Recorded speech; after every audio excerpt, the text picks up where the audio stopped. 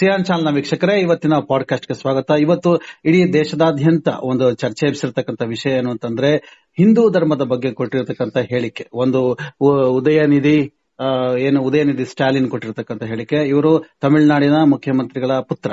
ಇವರು ಕೊಟ್ಟಿರತಕ್ಕಂಥ ಹೇಳಿಕೆಯನ್ನ ಬಿಜೆಪಿ ಒಂದು ಈ ಬಹು ಮುಂದಿನ ಚುನಾವಣೆಯ ಒಂದು ದೃಷ್ಟಿಯಲ್ಲಿ ಇಟ್ಕೊಂಡೆ ಇದನ್ನ ದೊಡ್ಡ ಮಟ್ಟದಲ್ಲಿ ಒಂದು ಪ್ರಚಾರವನ್ನು, ಅಂದ್ರೆ ಆಂಟಿ ಅಥವಾ ನೆಗೆಟಿವ್ ಇಮೇಜ್ ಅಥವಾ ನೆಗೆಟಿವ್ ಒಂದು ಪ್ರಚಾರಕ್ಕೆ ಇದು ಬಳಸ್ಕೊಳ್ತಾ ಇದೆ ಅನ್ನೋ ಮಟ್ಟಕ್ಕೆ ಇಡೀ ದೇಶಾದ್ಯಂತ ಒಂದು ಚರ್ಚೆ ನಡೀತಾ ಇದೆ.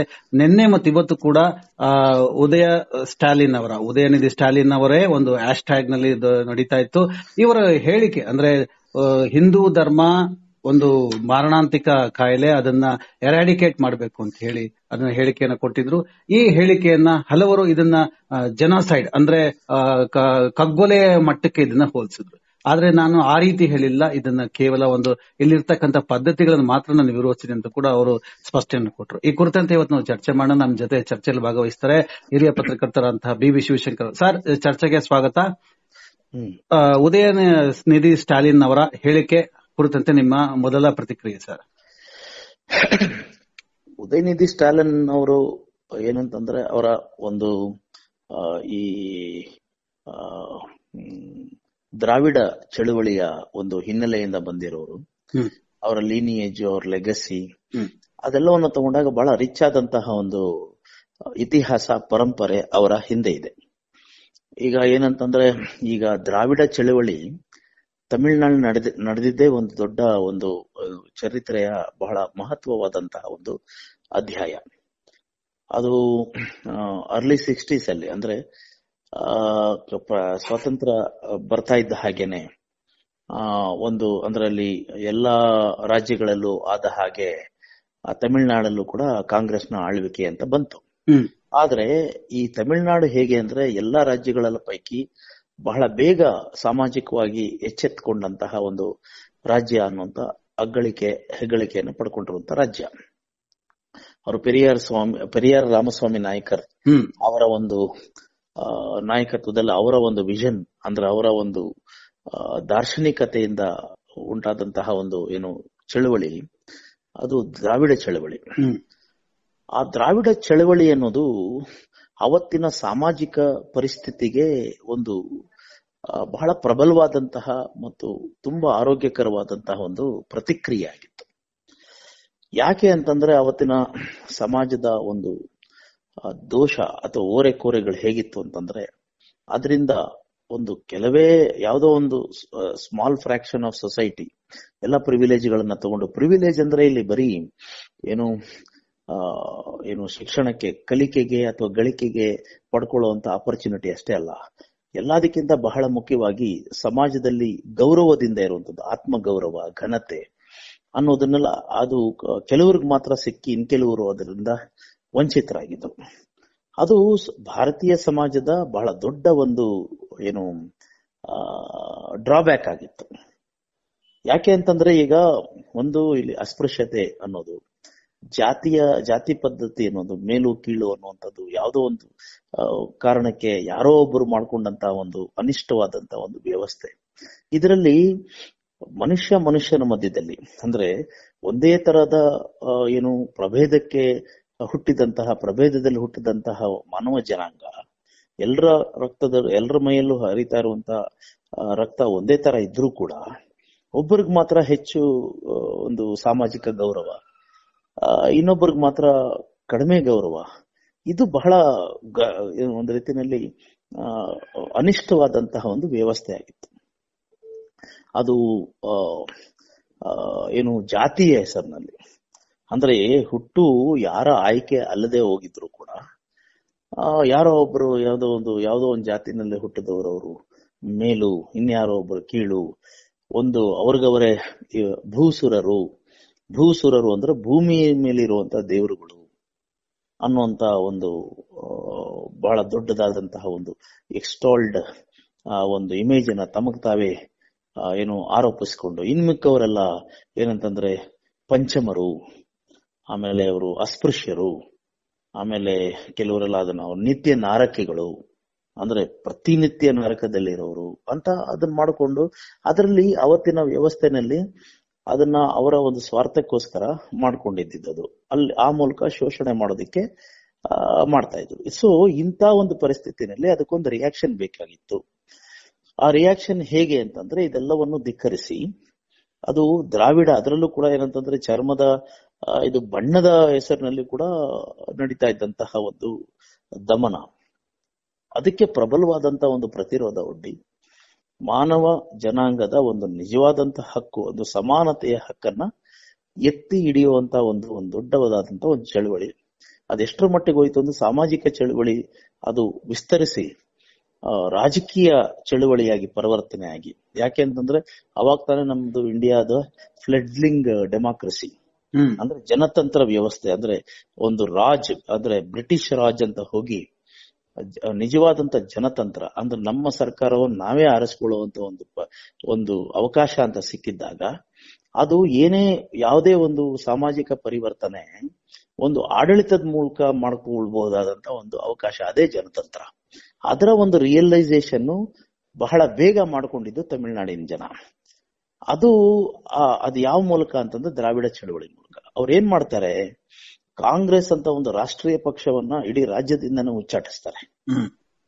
ಪ್ರಾದೇಶಿಕ ಪಕ್ಷ ಅನ್ನುವಂತ ಪರಿಕಲ್ಪನೆ ಮೊದಲು ಬಂದಿದ್ದು ತಮಿಳ್ ತಮಿಳುನಾಡಲ್ಲಿ. ಎಷ್ಟರ ಮಟ್ಟಿಗೆ ನಮ್ಮ ರಾಜ್ಯ ನಮ್ಮ ಸರ್ಕಾರ ಅಂತ.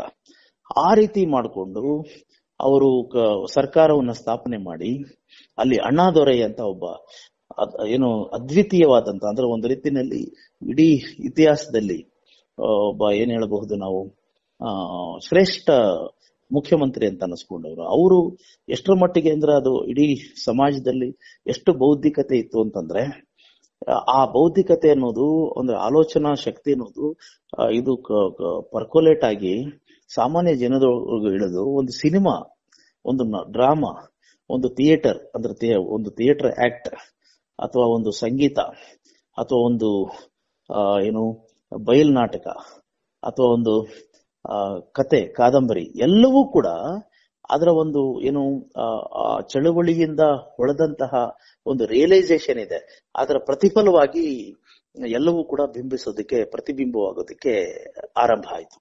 ಹಾಗಾಗಿನೇ ಒಬ್ಬ ಒಂದು ಜನಪ್ರಿಯ ಸಿನಿಮಾದ ಶಾಖೆ ಸಿನಿಮಾ ಅನ್ನಿಸ್ಕೊಳ್ಳುವಂತ ಒಂದು ಆ, ಮನರಂಜನಾ ಶಾಖೆಯಲ್ಲಿ ಒಬ್ಬ ಸ್ಟಾರ್ ಆಗಿದ್ದಂತಹ ಒಬ್ಬ ಎಂ ಜಿ ಆರ್ ಕೂಡ ಆ ಚಳುವಳಿಯ ಭಾಗವಾಗಿ ಆಗೋದಕ್ಕೆ ಸಾಧ್ಯ ಆಗಿದ್ದು. ಅಲ್ಲಿನ ಒಬ್ಬ ನಟ, ಅಲ್ಲಿನ ಒಬ್ಬ ಲಿರಿಸಿಸ್ಟ್ ಅಲ್ಲಿನ ಒಬ್ಬ, ಏನು ಸಂಭಾಷಣೆಕಾರ, ಅಲ್ಲಿನ ಒಬ್ಬ ಕಥೆಗಾರ, ಎಲ್ಲರೂ ಕೂಡ ಒಂದು ರೀತಿಯಲ್ಲಿ ವಿಚಾರವಾದಿಗಳಾಗಿ ಏನು, ಆಲೋಚನೆ ಮಾಡುವಂತ ಸಾಧ್ಯತೆ ಇತ್ತು. ಅದಕ್ಕೋಸ್ಕರನೇ ಸಿನಿಮಾ ಮತ್ತೆ ರಾಜಕೀಯ ಮತ್ತು ಸಾಮಾಜಿಕ ಜೀವನ, ಈ ಮೂರು ಕೂಡ ಬೇರೆ ಬೇರೆ ಅಲ್ಲ ಅಲ್ಲಿ, ತಮಿಳುನಾಡಲ್ಲಿ. ಅದಕ್ಕೋಸ್ಕರನೇ ಒಬ್ಬ ಸಿನಿಮಾ ನಟ ಚೀಫ್ ಮಿನಿಸ್ಟರ್ ಆಗೋದಕ್ಕೆ ಸಾಧ್ಯ ಆಯ್ತು. ಅದಕ್ಕೋಸ್ಕರನೇ ಒಬ್ಬ, ಏನು ಕರುಣಾನಿಧಿ ಅಂತ ಒಬ್ಬ, ಏನು ಚಿತ್ರ, ಏನು, ಕತೆ ಬರೆಯುವಂತ ಬರಹಗಾರ, ಸಂಭಾಷಣೆ ಬರೆಯುವಂತ ಬರಹಗಾರ, ಅತ್ಯಂತ ಅದ್ಭುತವಾದಂತ, ಅತಿ ಎತ್ತರದ ಒಬ್ಬ ಜನನಾಯಕನಾಗಿ, ಅಂದ್ರೆ ಒಬ್ಬ ಚಿಂತಕನಾಗಿ ಏನು ಹೊರಹೊಮ್ಮೋದಕ್ ಸಾಧ್ಯ ಆಯ್ತು. ಇಂಥ ಒಂದು ಹಿನ್ನೆಲೆ ಇರುವಂತಹ ಒಂದು ರಾಜ್ಯ, ಮತ್ತು ಅದೇ ವಂಶ, ಅಂದ್ರೆ ಅದೇ ಕರುಣಾನಿಧಿ ಅವರ ಮೊಮ್ಮಗ ಅವರು. ಕರುಣಾನಿಧಿ ಅದು ಏನಂತಂದ್ರೆ ಎಷ್ಟರ ಮಟ್ಟಿಗೆ ಒಂದು ಸಮತಾವಾದದ ಒಂದು ತತ್ವಕ್ಕೆ ಅವರು ಏನು ಆಕರ್ಷಿತರಾಗಿದ್ರು ಅದರ ಮೂಲಕ ಪ್ರೇರಿತರಾಗಿದ್ರು ಅಂತಂದ್ರೆ ಅವ್ರ ಮಗನ ಹೆಸರು ಸ್ಟಾಲಿನ್ ಅಂತ ಹೆಸರಿಟ್ಟಿರ್ತಾರೆ ಆಮೇಲೆ ಅವ್ರ ಮಗನೇ ಆ ಸ್ಟಾಲಿನ್ ಅವ್ರ ಮಗ ದಯಾನಿಧಿ ಸ್ಟಾಲಿನ್ ಉದಯ ಸಾರಿ ಉದಯ ಉದಯ ಉದಯನಿಧಿ ಸ್ಟಾಲಿನ್. ದಯಾನಿಧಿ ಮಾರನ್ ಅವರು. ಅವ್ರು ನಾವು ಯಾಕಂದ್ರೆ ದಯಾನಿಧಿ ಮಾರನ್ ಯೂನಿಯನ್ ಮಿನಿಸ್ಟರ್ ಆಗಿದ್ದವರು ಅದೇ ಇದರಲ್ಲಿ ನಾವು ಅಂದ್ರೆ ಉದಯನಿಧಿ ಉದಯ ಉದಯನಿಧಿ ಸ್ಟಾಲಿನ್. ಇಂಥ ಒಂದು ಹಿನ್ನೆಲೆಯನ್ನ ಇವರು ಹೊಂದಿದ್ದಾರೆ. ಆಮೇಲೆ ಈಗ ಡಿ ಎಂ ರಾಜ್ಯವನ್ನ ಆಳ್ತಾ ಇದೆ. ಅಂದ್ರೆ ಆಡಳಿತ ಪಕ್ಷವಾಗಿದೆ ತಮಿಳುನಾಡಲ್ಲಿ ಅವ್ರು ಬಹಳ ಒಂದು ಮಹತ್ವವಾದಂತ ಒಂದು ಕೆಲವೊಂದು ಸ್ಟೆಪ್ಗಳನ್ನ ತಗೊಂಡಿದ್ದಾರೆ. ಸ್ಟಾಲಿನ್ ಬಂದ ಮೇಲೆ ತಮಿಳುನಾಡಲ್ಲಿ ಆಗಿರುವಂತ ಒಂದು ಇದೇನಂತಂದ್ರೆ ಈ ದೇವಸ್ಥಾನಗಳಲ್ಲಿ ಈ ಅರ್ಚಕ ವೃತ್ತಿ ಇದೆಯಲ್ಲ, ಅರ್ಚಕ ವೃತ್ತಿ ಒಂದೇ ಒಂದು ಜಾತಿಗೆ ಯಾಕೆ ಸೀಮಿತವಾಗಿರ್ಬೇಕು? ಅದು ಎಲ್ರಿಗೂ ಎಲ್ರೂ ಕೂಡ ಅರ್ಚಕರಾಗುವಂತ ಒಂದು ಅವಕಾಶ ಇರಲಿ ಅಂತ ಹೇಳಿ ಅಲ್ಲೊಂದು ಕಾನೂನು ತಗೊಂಡ್ ಬಂದಿದ್ದಾರೆ. ಅಂದ್ರೆ ಅರ್ಚಕ ವೃತ್ತಿಯನ್ನ ತಗೊಳ್ಬೇಕಾಗಿದ್ರೆ ಅಲ್ಲೊಂದು ಎಕ್ಸಾಮ್ ಇರುತ್ತೆ. ಅದನ್ನ ಪಾಸ್ ಮಾಡಿದವರು ಯಾರು ಬೇಕಾದರೂ ಜಾತಿಯ ಒಂದು ಇದಿಲ್ಲದೆ, ಏನು ಮಿತಿ ಇಲ್ಲದೆ ಅಥವಾ ಹಂಗಿಲ್ಲದೆ ಯಾರು ಬೇಕಾದರೂ ಆಗ್ಬಹುದು ಅನ್ನುವಂಥದ್ದು. ಅದಕ್ಕಿಂತ ದೊಡ್ಡ ಪ್ರೋಗ್ರೆಸಿವ್ ಯಾವ್ದಿದೆ? ಬಹಳ ಒಂದು ರೀತಿಯಲ್ಲಿ ಅತ್ಯಂತ ಪ್ರಗತಿ ಪರವಾದಂತ ಒಂದು ಹೆಜ್ಜೆ. ಈ ತರ ಒಂದು ಹೀಗೆ ಅಂದ್ರೆ ಈ ಜನತಂತ್ರದ ಒಂದು ವ್ಯವಸ್ಥೆಯ ಒಂದು ಏನು ಅವಕಾಶವನ್ನ ಪಡ್ಕೊಂಡು ಒಂದು ಸರ್ಕಾರದ ಒಂದು ಸೂತ್ರವನ್ನ ಹಿಡಿಯೋದಕ್ಕೆ ಸಾಧ್ಯ ಆಗಿ, ಆ ಮೂಲಕ ಪರಿವರ್ತನೆಯನ್ನ ತಗೊಳ್ಳೋ ತರಿ, ತರೋದಕ್ಕೆ ಒಂದು ಸಾಧ್ಯತೆ ಇರುವಾಗ ಅದನ್ನ ಮಾಡೋದು ಬಿಟ್ಬಿಟ್ಟು, ಅದನ್ನ ಮಾಡಿದ್ದಾರೆ ಅದನ್ನೇ ಮುಂದುವರಿಸೋದು ಬಿಟ್ಬಿಟ್ಟು, ಈ ತರದ ಒಂದು ರಿಟರಿಕ್ಗಳು ಯಾಕೆ ಬರ್ತಾ ಇದೆ ಅನ್ನೋದನ್ನ ನಾವು ಪ್ರಶ್ನೆ ಮಾಡಿ ಅಥವಾ ಗಮನಿಸಬೇಕು. ಈಗ ಇಷ್ಟೊಂದು ಈ ತರದ ಒಂದು ಹಿನ್ನೆಲೆ ಇರುವಂತಹ ಒಬ್ಬ ವ್ಯಕ್ತಿ, ಉದಯನಿಧಿ ಸ್ಟಾಲಿನ್ ಇದ್ದಕ್ಕಿದ್ದ ಹಾಗೆ ಈಗ ಒಂದು ಧರ್ಮ, ಅಂದ್ರೆ ಯಾವ ಧರ್ಮ ಅದು? ಸನಾತನ ಧರ್ಮ. ಸನಾತನ ಧರ್ಮ ಅನ್ನೋದು ಒಂದು ಮಲೇರಿಯಾ ಇದ್ದಂಗೆ ಒಂದು ಪಿಡುಗು. ಅದನ್ನ ಎರಾಡಿಕೇಟ್ ಮಾಡಬೇಕು, ಅಂದ್ರೆ ನಿರ್ಮೂಲನ ಮಾಡಬೇಕು. ಅಂತ ಒಂದು ಹೇಳಿಕೆ, ಹೇಳುವಂತ ಮಾತು, ಇದು ಕೇವಲ ರಿಟರಿಕ್ ಅಂದ್ರೆ ಒಂದು ಪ್ರಚೋದನಾತ್ಮಕವಾದಂತ ಹೇಳಿಕೆ ಆಗುತ್ತೆ. ಯಾಕೆ ಅದನ್ನ ಮಾಡ್ತಾ ಇದ್ದಾರೆ ಅವರು? ಈಗ ಫಾರ್ ಎಕ್ಸಾಂಪಲ್ ಈಗ ಜನತಂತ್ರದಲ್ಲಿ ಈಗ ನಿರ್ಮೂಲನ ಮಾಡ್ಬಿಡೋದು, ಕೊಚ್ಚಾಕೋದು, ಕೊಡ್ದಾಕ್ಬಿಡೋದು ತೊಡೆದಾಕ್ಬಿಡೋದು, ಆಮೇಲೆ ಬ್ಯಾನ್ ಮಾಡೋದು, ಈ ಪದಗಳಿಗೆಲ್ಲ ಅರ್ಥ ಇಲ್ಲ. ಈ ಪದಗಳಿಗೆಲ್ಲ ಜಾಗ ಇಲ್ಲ. ಆದ್ರೆ, ಹಾಗಾದ್ರೆ ಏನು? ಹಾಗಾದ್ರೆ ಒಂದು ಪಿಡುಗಾಗಿದ್ರೆ ಏನ್ ಮಾಡ್ಬೇಕು ಅಂತಂದ್ರೆ, ಈಗ ಸಮಾಜ ಯಾವತ್ತೂ ಒಂದು ಪಿಡುಗಾಗೋದಿಲ್ಲ. ಧರ್ಮ ಅನ್ನೋದು ಪಿಡುಗಾಗ ಆದ್ರೆ ಆ ಸಮಾಜದಲ್ಲಿ ಒಂದು ಓರೆಕೋರೆ ಇದ್ದೇ ಇರುತ್ತೆ. ಯಾವ ಸಮಾಜನೂ ಪರ್ಫೆಕ್ಟ್ ಅಲ್ಲ. ಆ ಪರ್ಫೆಕ್ಟ್ ಅಲ್ಲದೆ ಇರುವಂತ ಸಮಾಜವನ್ನ ತಿದ್ದುತ್ತಾ ತೀಡ್ತಾ ಹೋಗ್ತಾ ಇರ್ಬೇಕಾಗುತ್ತೆ. ಅದನ್ನ ಸುಧಾರಣೆ ಅಂತ ಹೇಳ್ತಾರೆ. ಈಗ ಅದನ್ನ ಮಾಡಲಿಲ್ಲ ಅಂತಂದ್ರೆ, ಅಂದಿದ್ರೆ, ಈಗ ಫಾರ್ ಎಕ್ಸಾಂಪಲ್ ಈಗ ನಮ್ಮ ಭಾರತೀಯ ಸಮಾಜ ಅಂತ ಅನ್ಕೊಳ್ಳೋಣ. ಈಗ ಭಾರತೀಯ ಸಮಾಜ ಒಂದು, ನಾವು ಅಧ್ಯಯನ ಮಾಡಿದ್ರೆ ಸ್ವತಂತ್ರ ಪೂರ್ವದಲ್ಲಿದ್ದಂತ ಸಮಾಜ ಸ್ವತಂತ್ರೋತ್ತರ ಸ್ವತಂತ್ರ ಆದ್ಮೇಲೆ ಸಿಕ್ಕದ್ಮೇಲೆ ಸಿಕ್ಕದ ಮೇಲೆ ಇರುವಂತ ಈ ಎಪ್ಪತ್ತು ವರ್ಷದ ನಂತರದ ಸಮಾಜ. ಒಂದು ಸಾರಿ ಹೋಲಿಸಿ ನೋಡೋಣ ನಾವು. ಈಗ ಆಗ ಏನಿತ್ತಂದ್ರೆ ಎಲ್ಲಾ ತರದ ಪಿಡುಗುಗಳು ಇತ್ತು. ಏನಂದ್ರೆ ಈಗ ಬಾಲ್ಯ ವಿವಾಹ ಇತ್ತು. ಇವತ್ತಿಲ್ಲ. ನಾವು ಇಮ್ಯಾಜಿನೇ ಮಾಡ್ಕೊಳಕ್ಕಾಗಲ್ಲ. ಅವಾಗ ಸತಿ ಸಹಗಮನ ಪದ್ಧತಿ ಇತ್ತು. ಆ, ಇವಾಗ ಇತ್ತ ಅಂತಂದ್ರೆ ಅದನ್ನ ಇದು ನಾವು ಹೌದಾ ಅಂತ ಕೇಳೋಷ್ಟ್ರ ಮಟ್ಟಿಗಿದೆ. ಆಮೇಲೆ ವಿಧವಾ ವಿವಾಹ ವಿವಾಹ ಅನ್ನೋದು ಇರ್ಲಿಲ್ಲ. ಇವಾಗಿದೆ. ಹಾಗೇನೆ ಇವಾಗ ಏನಂತಂದ್ರೆ ಇವಾಗ, ಆ, ನಾವು ಹೇಳ್ತೀವಲ್ಲ, ಈಗ ಈ ಕೆಲವು ಹುನ್ನಾರಗಳಿಂದ ಕೆಲವು ವರ್ಗಗಳು ಮಾತ್ರ ಈ ಸಮಾಜದ ಒಂದು ಇದನ್ನ ಹಿಡಿತದಲ್ಲಿ ಇಟ್ಕೊಂಡಿದ್ವು ಅಂತ ಹೇಳ್ತಾ ಇಲ್ಲ ಅಂತಂದ್ರೆ ಸ್ತ್ರೀಯರಿಗೆ ಆ ಅಂದ್ರೆ ಮಹಿಳೆಯರಿಗೆ ಹೆಚ್ಚಿನ ಒಂದು ಅವಕಾಶ ಕೊಡ್ತಾ ಇರ್ಲಿಲ್ಲ ಶಿಕ್ಷಣ ಕೊಡಿಸ್ತಾ ಇರ್ಲಿಲ್ಲ. ಆ ಒಂದು ಮನುಸ್ಮೃತಿ ಎನ್ನುವಂಥದ್ದು ಅಲ್ಲಿ ಒಂದು ನಮ್ಮ ಏನು ಕರ್ಮಠವಾದಂತಹ ಒಂದು ಏನು ಆ, ವಿಚಾರಗಳನ್ನ ಸಮಾಜದ ಮೇಲೆ ಹೇರಿ, ಅದನ್ನ ರಿಗ್ರೆಸ್ ರಿಗ್ರೆಸಿವ್ ಮಾಡಿದೆ, ಹಿಂದುಳಿಯೋ ಹಾಗೆ ಮಾಡಿದೆ. ಯಾಕೆ ಅಂತಂದ್ರೆ, ಒಂದು ಮಹಿಳೆಯರನ್ನ, ಅಂದ್ರೆ ಸಮಾಜದ ಅರ್ಧ ಭಾಗವಾಗಿರುವಂತ ಮಹಿಳೆಯರನ್ನ ಅವರಿಗೆ ಅವ್ರನ್ನ ಏನು ಅವ್ರಿಗೆ ಸ್ವಾತಂತ್ರ್ಯನೂ ಕೊಡ್ತಾ ಇಲ್ಲ, ಅವ್ರಿಗೆ ಸಮಾನತೆಯನ್ನು ಕೊಡ್ತಾ ಇಲ್ಲ. ನ ಸ್ತ್ರೀ ಸ್ವಾತಂತ್ರ್ಯ ಅರ್ಹತಿ ಅರ್ಹತೆ ಅಂತ ಹೇಳಿ, ಅಥವಾ ಇದು ಗೃಹಿಣಿ ಗೃಹ ಮುಚ್ಚತೆ ಅಂತ ಇರಬೇಕು ಅನ್ನೋ ಅಂತ ಹೇಳೋದ್ರ ಮೂಲಕ ಅವ್ರನ್ನ ತುಳಿದಿಟ್ಟಿದ್ದಾರೆ ಅಂತ ಒಂದಿತ್ತು. ಇವಾಗ ಆತರ ಇದೆಯಾ? ಇಲ್ಲ. ಆಮೇಲೆ ಒಂದು ಇವಾಗ ಅಸ್ಪೃಶ್ಯತೆ ಅನ್ನೋದು ಅವಾಗ ಎಷ್ಟು ಘೋರವಾಗಿತ್ತು, ಇವಾಗ ಹೇಗಿದೆ? ಅಂದ್ರೆ ಹಾಗಾದ್ರೆ ಪ್ರತಿಯೊಂದು ಕೂಡ ಸರಿ ಹೋಗಿದೆ ಅಂತಲ್ಲ. ಅಂದ್ರೆ ಈಗ ಇದು ಜಾತಿ ವ್ಯವಸ್ಥೆ ಇನ್ನೂ ಹಾಗೆ ಇದೆಯಲ್ಲ ಇದೆ. ಆದರೆ ಎಷ್ಟು ಬದಲಾವಣೆ ಆಗಿದೆ ಅಂದ್ರೆ ಅದಕ್ಕೆ ಒಂದು ಅಲ್ಲಿ ಒಂದು ಆಶಾದಾಯಕವಾದಂತಹ ಒಂದು ಬೆಳವಣಿಗೆ ಇದೆ. ಅದನ್ನ ನಾವು ಒಪ್ಕೊಳ್ಳಬೇಕು. ಯಾಕೆ, ಅದಕ್ಕೆ ಕಾರಣ ಏನಂತಂದ್ರೆ, ಈ ಸಮಾಜವನ್ನ ಸುಧಾರಿಸಬೇಕು. ಸುಧಾರಣೆ ಅನ್ನೋದು ಒಂದು ಹಂತ ಹಂತವಾಗಿ ಸಮಾಜ ಸುಧಾರಕರು ಇವಾಗ ನೋಡಿ. ರಾಜಾರಾಮ್ ಮೋಹನ್ ರಾಯ್ ಇಂದ ಹಿಡ್ಕೊಂಡು, ಆ, ಇದು ದಯಾನಂದ ಸರಸ್ವತಿಯಿಂದ ಹಿಡ್ಕೊಂಡು, ವಿವೇಕಾನಂದರಿಂದ ಎಲ್ಲಾರು ಒಂದೊಂದೇ ಒಂದೊಂದೇ ಸ್ಟೆಪ್ ಅನ್ನ ಚೇಂಜ್ ಮಾಡ್ಕೊಳ್ತಾ ಬಂದ್ರು. ಕೊನೆಗೆ ಅವಾಗೆಲ್ಲ ಇದು ನಮ್ಮ ಅಧಿಕಾರ ನಮ್ಮ ಕೈಲಲ್ಲಿ ಇರ್ಲಿಲ್ಲ. ಈಗ ಜನತಂತ್ರ ನಮ್ಮ ಕೈನಲ್ಲಿದೆ. ಜನತಂತ್ರ ನಮಗೆ ಅಧಿಕಾರವನ್ನ ಕೊಟ್ಟಿದೆ. ಹೀಗಿರುವಾಗ ಸಮಾಜವನ್ನು ಇನ್ನಷ್ಟು ಜಾಸ್ತಿ ಪರಿವರ್ತನೆ ಮಾಡೋದಕ್ಕೆ ಸಾಧ್ಯ ಇದೆ. ಹೀಗಿರುವಾಗ ನಾವು, ಹೌದು, ಇಲ್ಲಿ ದೋಷಗಳಿದೆ, ಇಲ್ಲಿ ಓರೆಕೋರೆಗಳಿದೆ. ಈ ಓರೆಕೋರೆಗಳನ್ನ ಸರಿ ಮಾಡಿಸೋ, ಸರಿಪಡಿಸೋದಕ್ಕೆ ಹೇಗೆ ಅಂದ್ರೆ ಕನ್ಸ್ಟ್ರಕ್ಟಿವ್ ಆಗಿ ಹೋಗ್ಬೇಕಾಗತ್ತೆ. ಒಂದ್ ಕಡೆ ಈಗ ಜವಾಹರ್ಲಾಲ್ ನೆಹರು ಒಂದ್ ಮಾತ್ರ ಒಂದು, ಒಂದ್ ಕಡೆ ಒಂದು ಸಂದರ್ಶನದಲ್ಲಿ ಈ ತರ ಹೇಳಿದ್ದನ್ನ ನಾನು ನೋಡಿದ್ದೆ ಒಂದು ವಿಡಿಯೋದಲ್ಲಿ. ಅವ್ರೇನ್ ಹೇಳ್ತಾರೆ ಅಂತಂದ್ರೆ, ಈಗ ನೋಡಿ, ಕಾರ್ಲ್ ಮಾರ್ಕ್ಸ್ ಕೊಟ್ಟಂತ ಸಮತಾವಾದ. ಕಮ್ಯುನಿ, ಕಮ್ಯುನಿಸ ಕಮ್ಯುನ್ ಕಮ್ಯುನಿಸ್ಟ್ ಸಿದ್ಧಾಂತ ಇದೆಯಲ್ಲ? ಅದು ಈ ಕಾರ್ಲ್ ಮಾರ್ಕ್ಸ್ ಕಾನ್ಸೆಪ್ಟ್ಯುಲೈಸ್ ಮಾಡಿದಾಗ ಆಗಿನ ಪರಿಸ್ಥಿತಿ, ಸಾಮಾಜಿಕ ಪರಿಸ್ಥಿತಿ ಹೇಗಿದೆ ಅಂತ ನೋಡ್ಕೋಬೇಕಾಗಿತ್ತು. ಅವಾಗ ಗ್ಲೋಬಲ್ ಲೆವೆಲ್ನಲ್ಲಿ ಇಷ್ಟೊಂದು ಜನತಂತ್ರ ಇಷ್ಟೊಂದು ಬೇರೂರ್ಲಿಲ್ಲ. ಇಷ್ಟೊಂದು ಆಳವಾಗಿ ಇಷ್ಟೊಂದು ಸದೃಢವಾಗಿ ಎಸ್ಟಾಬ್ಲಿಷ್ ಆಗಿರಲಿಲ್ಲ ಆಗ ಜನ ಹೋರಾಡಬೇಕಾಗಿದ್ದು ಏನು ರಾಜಾಡಳಿತಗಳ ವಿರುದ್ಧ. ಮತ್ತೆ ಏನದು ಬಂಡವಾಳಶಾಹಿಗಳ ವಿರುದ್ಧ, ಅಂದ್ರೆ ಎಸ್ಟಾಬ್ಲಿಷ್ಮೆಂಟ್ ಅಂದ್ರೆ ರಾಜಾಡಳಿತ ಮತ್ತೆ ಬಂಡವಾಳಶಾಹಿಗಳಾಗಿದ್ರು. ಅವಾಗ ಆಂಟಿ ಎಸ್ಟಾಬ್ಲಿಷ್ಮೆಂಟ್ ಅಂತಂದ್ರೆ ಅಗ್ರೆಸಿವ್ ಆಗಿ ಹೋಗ್ಬೇಕಾಗಿತ್ತು. ಏನಾದ್ರು ಇವನ್ ರಕ್ತಪಾತ ಕೂಡ ಮಾಡೋದಕ್ಕೆ ಅದು ಅವತ್ತಿಗೆ ರೆಡಿ ಆಗಿರ್ಬೇಕಾಗಿತ್ತು. ಆದ್ರೆ ಯಾವಾಗ ಅದು ನಿಮ್ಗೆ ಈ ಪ್ರಪಂಚದ ಸ್ಥಿತಿ ಹೆಂಗ್ ಬದಲಾಯ್ತು ಅಂದ್ರೆ ಈ ಜನತಂತ್ರ ಅನ್ನೋದು ಏನು ವಿಶ್ವಾದ್ಯಂತ ಹರಡೋದಕ್ಕೆ ಶುರುವಾಯ್ತು. ಆ ಜನತಂತ್ರ ಅಂತ ಬಂದ್ಮೇಲೆ ಅದ್ರಲ್ಲಿ ನಮ್ಮ ಭಾರತ ದೇಶವನ್ನು ಸೇರ್ಕೊಂಡಂಗೆ ಜನತಂತ್ರ ಅಂತ ಬಂದ ಮೇಲೆ ಎಸ್ಟಾಬ್ಲಿಷ್ಮೆಂಟ್ ಯಾವ್ದಾಗತ್ತೆ, ಸರ್ಕಾರ ಯಾವ್ದಾಗತ್ತೆ, ನಾವೇ ಆರಿಸಿರುವಂತ ಸರ್ಕಾರ, ನಮ್ದೇ ಸರ್ಕಾರ ಆಗಿರುತ್ತೆ. ಆಮೇಲೆ ಒಂದು ಸರ್ಕಾರವನ್ನ ಬದಲಾಯಿಸೋ ಶಕ್ತಿ ಕೂಡ ನಮ್ಗಿರುತ್ತೆ. ಈಗಿರುವಾಗ ನಮ್ದೇ ಆದಂತ ಸರ್ಕಾರ ಆದ್ಮೇಲೆ ಈಗ ಇಂದ ಕಾರ್ಲ್ ಮಾರ್ಕ್ಸ್ ಟೈಮ್ ಅಲ್ಲಿ ಇದ್ದಂತಹ ಒಂದು ಅಗ್ರೆಷನ್ ಅಂದ್ರೆ ಒಂದು ಎಸ್ಟಾಬ್ಲಿಷ್ಮೆಂಟ್ ಅನ್ನ ಎದುರಿಸುವಾಗ ಈಗ್ಲೂ ಕೂಡ ಇರ್ಬೇಕಾ? ಅಂತಂದ್ರೆ ಅಲ್ಲಿ ಏನಾಗುತ್ತೆ? ಬದಲಾಗಬೇಕು. ಅಂದ್ರೆ ಹಂಗಂದ್ ಮಾತ್ರ ಒಂದು ಸರ್ಕಾರವನ್ನು ನಾವು ಆರಿಸಿ ಆರಿಸಿ ಎಸ್ಟಾಬ್ಲಿಷ್ ಮಾಡಿದ್ದೀವಿ ಅಂದ್ಮೇಲೆ ಅದು ಪರ್ಫೆಕ್ಟ್ ಇರಲ್ಲ. ಅದ್ರಲ್ಲಿ ಏನೋ ಒಂದು ದೋಷ ಇರುತ್ತೆ. ಅದ್ರಲ್ಲೇನೋ ಒಂದು ತಪ್ಪಿರುತ್ತೆ ಆದ್ರೆ ಅದಕ್ಕೆ ಅದಕ್ಕೆ ಪ್ರತಿರೋಧ ಕೊಡಬೇಕು, ಅದಕ್ಕೊಂದು ಪ್ರತಿಕ್ರಿಯೆ ಕೊಡಬೇಕು, ಅದನ್ನ ಸರಿಪಡಿಸ್ಬೇಕು ಅಂದ್ರೆ ಯಾವ ವಿಧಾನವನ್ನ ಅನುಸರಿಸಬೇಕು? ಹಳೆ ಕಾಲದಲ್ಲಿ ಮಾಡ್ದಂಗೆನೆ ಎಲ್ರು ನಾವು ಕೊಚ್ಚಿ ಕೊಂದಾಕ್ ಬಿಡೋಣ ರಕ್ತಪಾತ ಮಾಡೋಣ ಅಂತಂದ್ರೆ ಅದು ಸರಿ ಹೋಗುತ್ತಾ? ಹಾಗಾದ್ರೆ ನಾವೇ ಎಸ್ಟಾಬ್ಲಿಷ್ ಮಾಡಿದಂತಹ ಜನತಂತ್ರ ಅದು ಉಳಿಯುತ್ತಾ? ಅಂದಾಗ ಇಲ್ಲಿ ನಾವು ವಿವೇಕಯುತವಾಗಿ ಮಾಡ, ನಡ್ಕೊಳ್ಬೇಕಾಗುತ್ತೆ.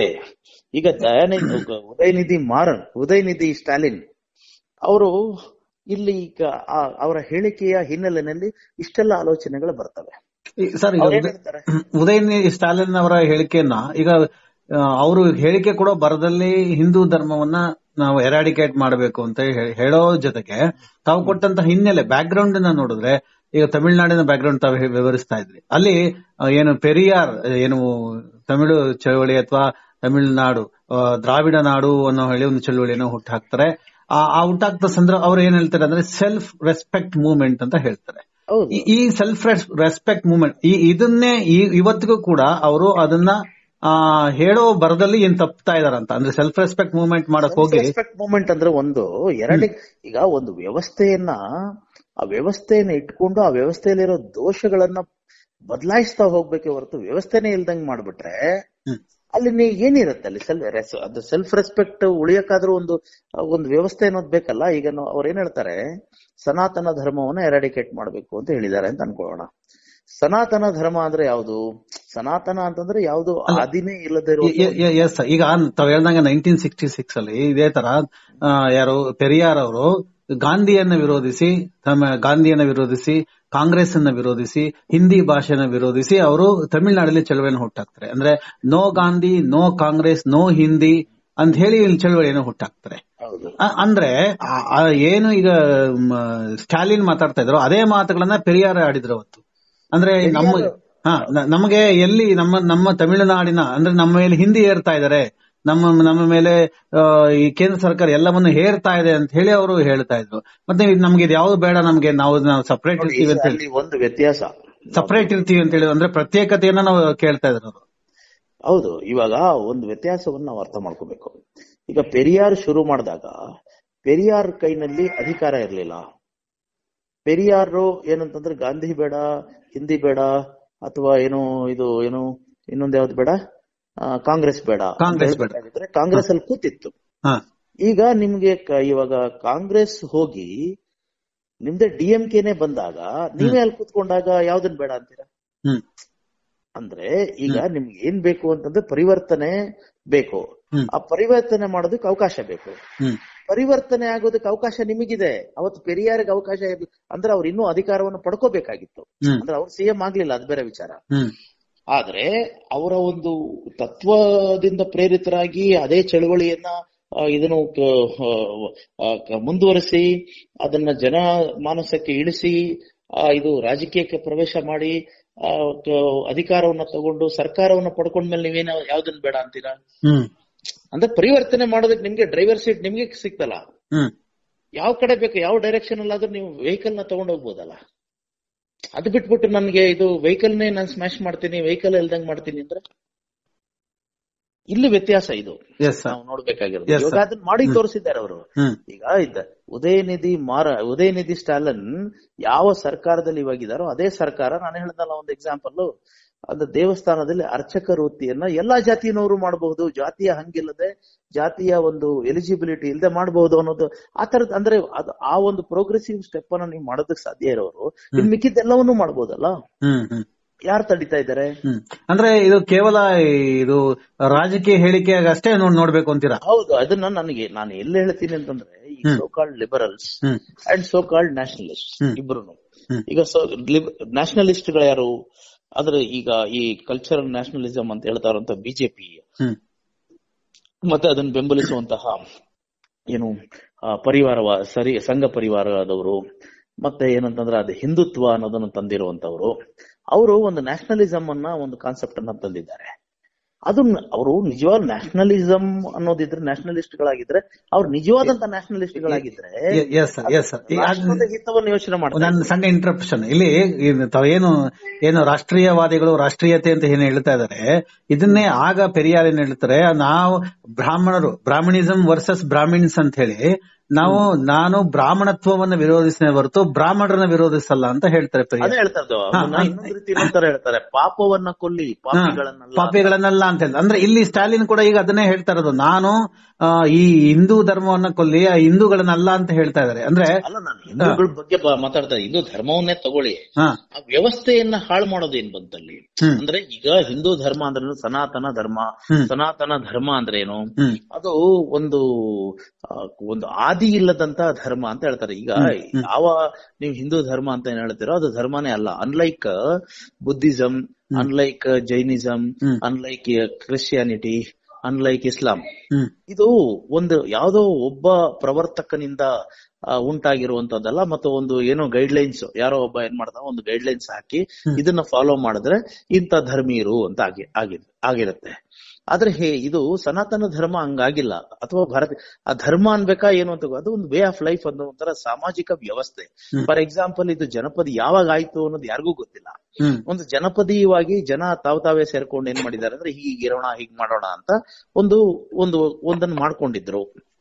ಅದೇನಾಗುತ್ತೆ? ಮುಂದಕ್ಕೆ ಬರ್ತಾ ಬರ್ತಾ ಅದೇನಾಗುತ್ತೆ? ಯಾರೋ ಬರಿತಾ ಬಂದ್ರು. ಅದು- ಅದಕ್ಕೆ ಒಂದು ಆ ಒಂದು ಏನು ಸಾಮಾಜಿಕ ವ್ಯವಸ್ಥೆ ಏನ್ ಮಾಡ್ಕೊಂಡಿದ್ರು ಅದಕ್ಕೆ ಉಪನಿಷತ್ತುಗಳಲ್ಲಿ ಒಂದೇನೋ ಒಂದು ವ್ಯಾಖ್ಯಾನ ಮಾಡಿದ್ರು. ಆ ಉಪನಿಷತ್ತುಗಳಾದ್ಮೇಲೆ ಉಪನಿಷತ್ತುಗಳ ಸಾರಸತ್ವ ಭಗವದ್ಗೀತೆ ಅಂತ ಆಯ್ತು. ಆದ್ರ ಅದಕ್ಕೆ ಆ ಭಗವದ್ಗೀತೆಗೆ ಒಂದು ಅದನ್ನ ಇಂಟರ್ಪ್ರಿಟೇಷನ್ ಕೊಡೋದಕ್ಕೆ ಬೇರೆ ಬೇರೆಯವ್ರು ಬಂದು, ನಾವು ಆಚಾರ್ಯತ್ರಯರು ಅಂತ ಹೇಳ್ತೀವಿ. ಯಾರು ಆಚಾರ್ಯತ್ರಯರು? ಶಂಕರಾಚಾರ್ಯ ರಾಮಾನುಜಾಚಾರ್ಯ ಮತ್ತೆ ಮಧ್ವಾಚಾರ್ಯ. ಒಬ್ಬೊಬ್ರು ಒಂದೊಂದರ ಅರ್ಥೈಸಿದ್ರು ಅದನ್ನ. ಅರ್ಥೈಸ್ಬಿಟ್ಟು ಇದು ಹೀಗೆ ಅಂತ ಹೇಳದ್ಮೇಲೆ ಆ ಅದು ಹೀಗೆ ಅನ್ನೋದನ್ನ ಫಾಲೋ ಮಾಡಿದವರೆಲ್ಲ ಒಂದ್ ತರದ ಒಂದು ಏನು ಮತೀಯ ಮತೀಯ ಮತಕ್ಕೆ ಸೇರಿದಂತವ್ರು ಮತೀಯರು ಅಂತ ಹೇಳಿದ್ರು ಅಂದ್ರೆ ಮತಾಚಾರ್ಯರು ಅಂತ ಆಗಿದ್ದಾಗ. ಆಗ ಅದ್ರ ಜೊತೆಗೆ ಇದಲ್ಲದೆ ಮತಾಚಾರ್ಯರ ಏನು ವ್ಯಾಖ್ಯಾನಗಳಲ್ಲದೆ ಭಾಷೆಗಳಲ್ಲದೆ ಬೇರೆ ಬೇರೆ ತರದ ಸ್ಮೃತಿಗಳು ಸೂತ್ರಗಳು ಬಂದವು. ಈಗ ಮನು ಮನು ಏನ್ ಮಾಡ್ತಾನೆ? ಮನುಸ್ಮೃತಿ ಬರೆದಿರ್ತಾನೆ ಒಬ್ಬ. ಅದೇ ತರ ಯೋಗ ವಾಶಿಷ್ಠ ಅಂತ ಒಂದ್ ಬರೀತಾನೆ. ಅದ್ರ ಅದರಲ್ಲಿ ಇಂಥವೆಲ್ಲ ಬರುತ್ತೆ. ಅದು ಏನಂತಂದ್ರೆ ಅದರಲ್ಲಿ ಏನಾಗುತ್ತೆ ಅಂದ್ರೆ ಇದು ಲಿಬರಲ್ ಆಗಿ ಇದ್ದಿದ್ರೆ ಇರೋದ್ರಿಂದ ಇದು ಜನಪದೀಯವಾಗಿ ಬಂದಿದ್ರಿಂದ ಯಾರು ಹೇಗ್ ಬೇಕಾಗಿದ್ರು ಬರ್ಕೊಳ್ಳೋದಕ್ಕೊಂದು ಅವಕಾಶ. ಹಾಗಾಗಿ ಕೆಲವರು ಹಿತಾಸಕ್ತಿಗಳು ಪಟ್ಟಭದ್ರ ಹಿತ- ಹಿತಾಸಕ್ತಿಗಳು ತಲೆ ಎತ್ತಿವೆ. ತಲೆ ಎತ್ಬಿಟ್ಟು ಏನ್ ಮಾಡ್ತವೆ? ಓ ಇದು ಹೀಗೆ ಹೀಗೆ ವರ್ಣ ಮತ್ತೆ ಏನು ಆಶ್ರಮ ಈ ಧರ್ಮ ಹೀಗೆ ಅದು ವರ್ಣ ಅಂದ್ರೆ.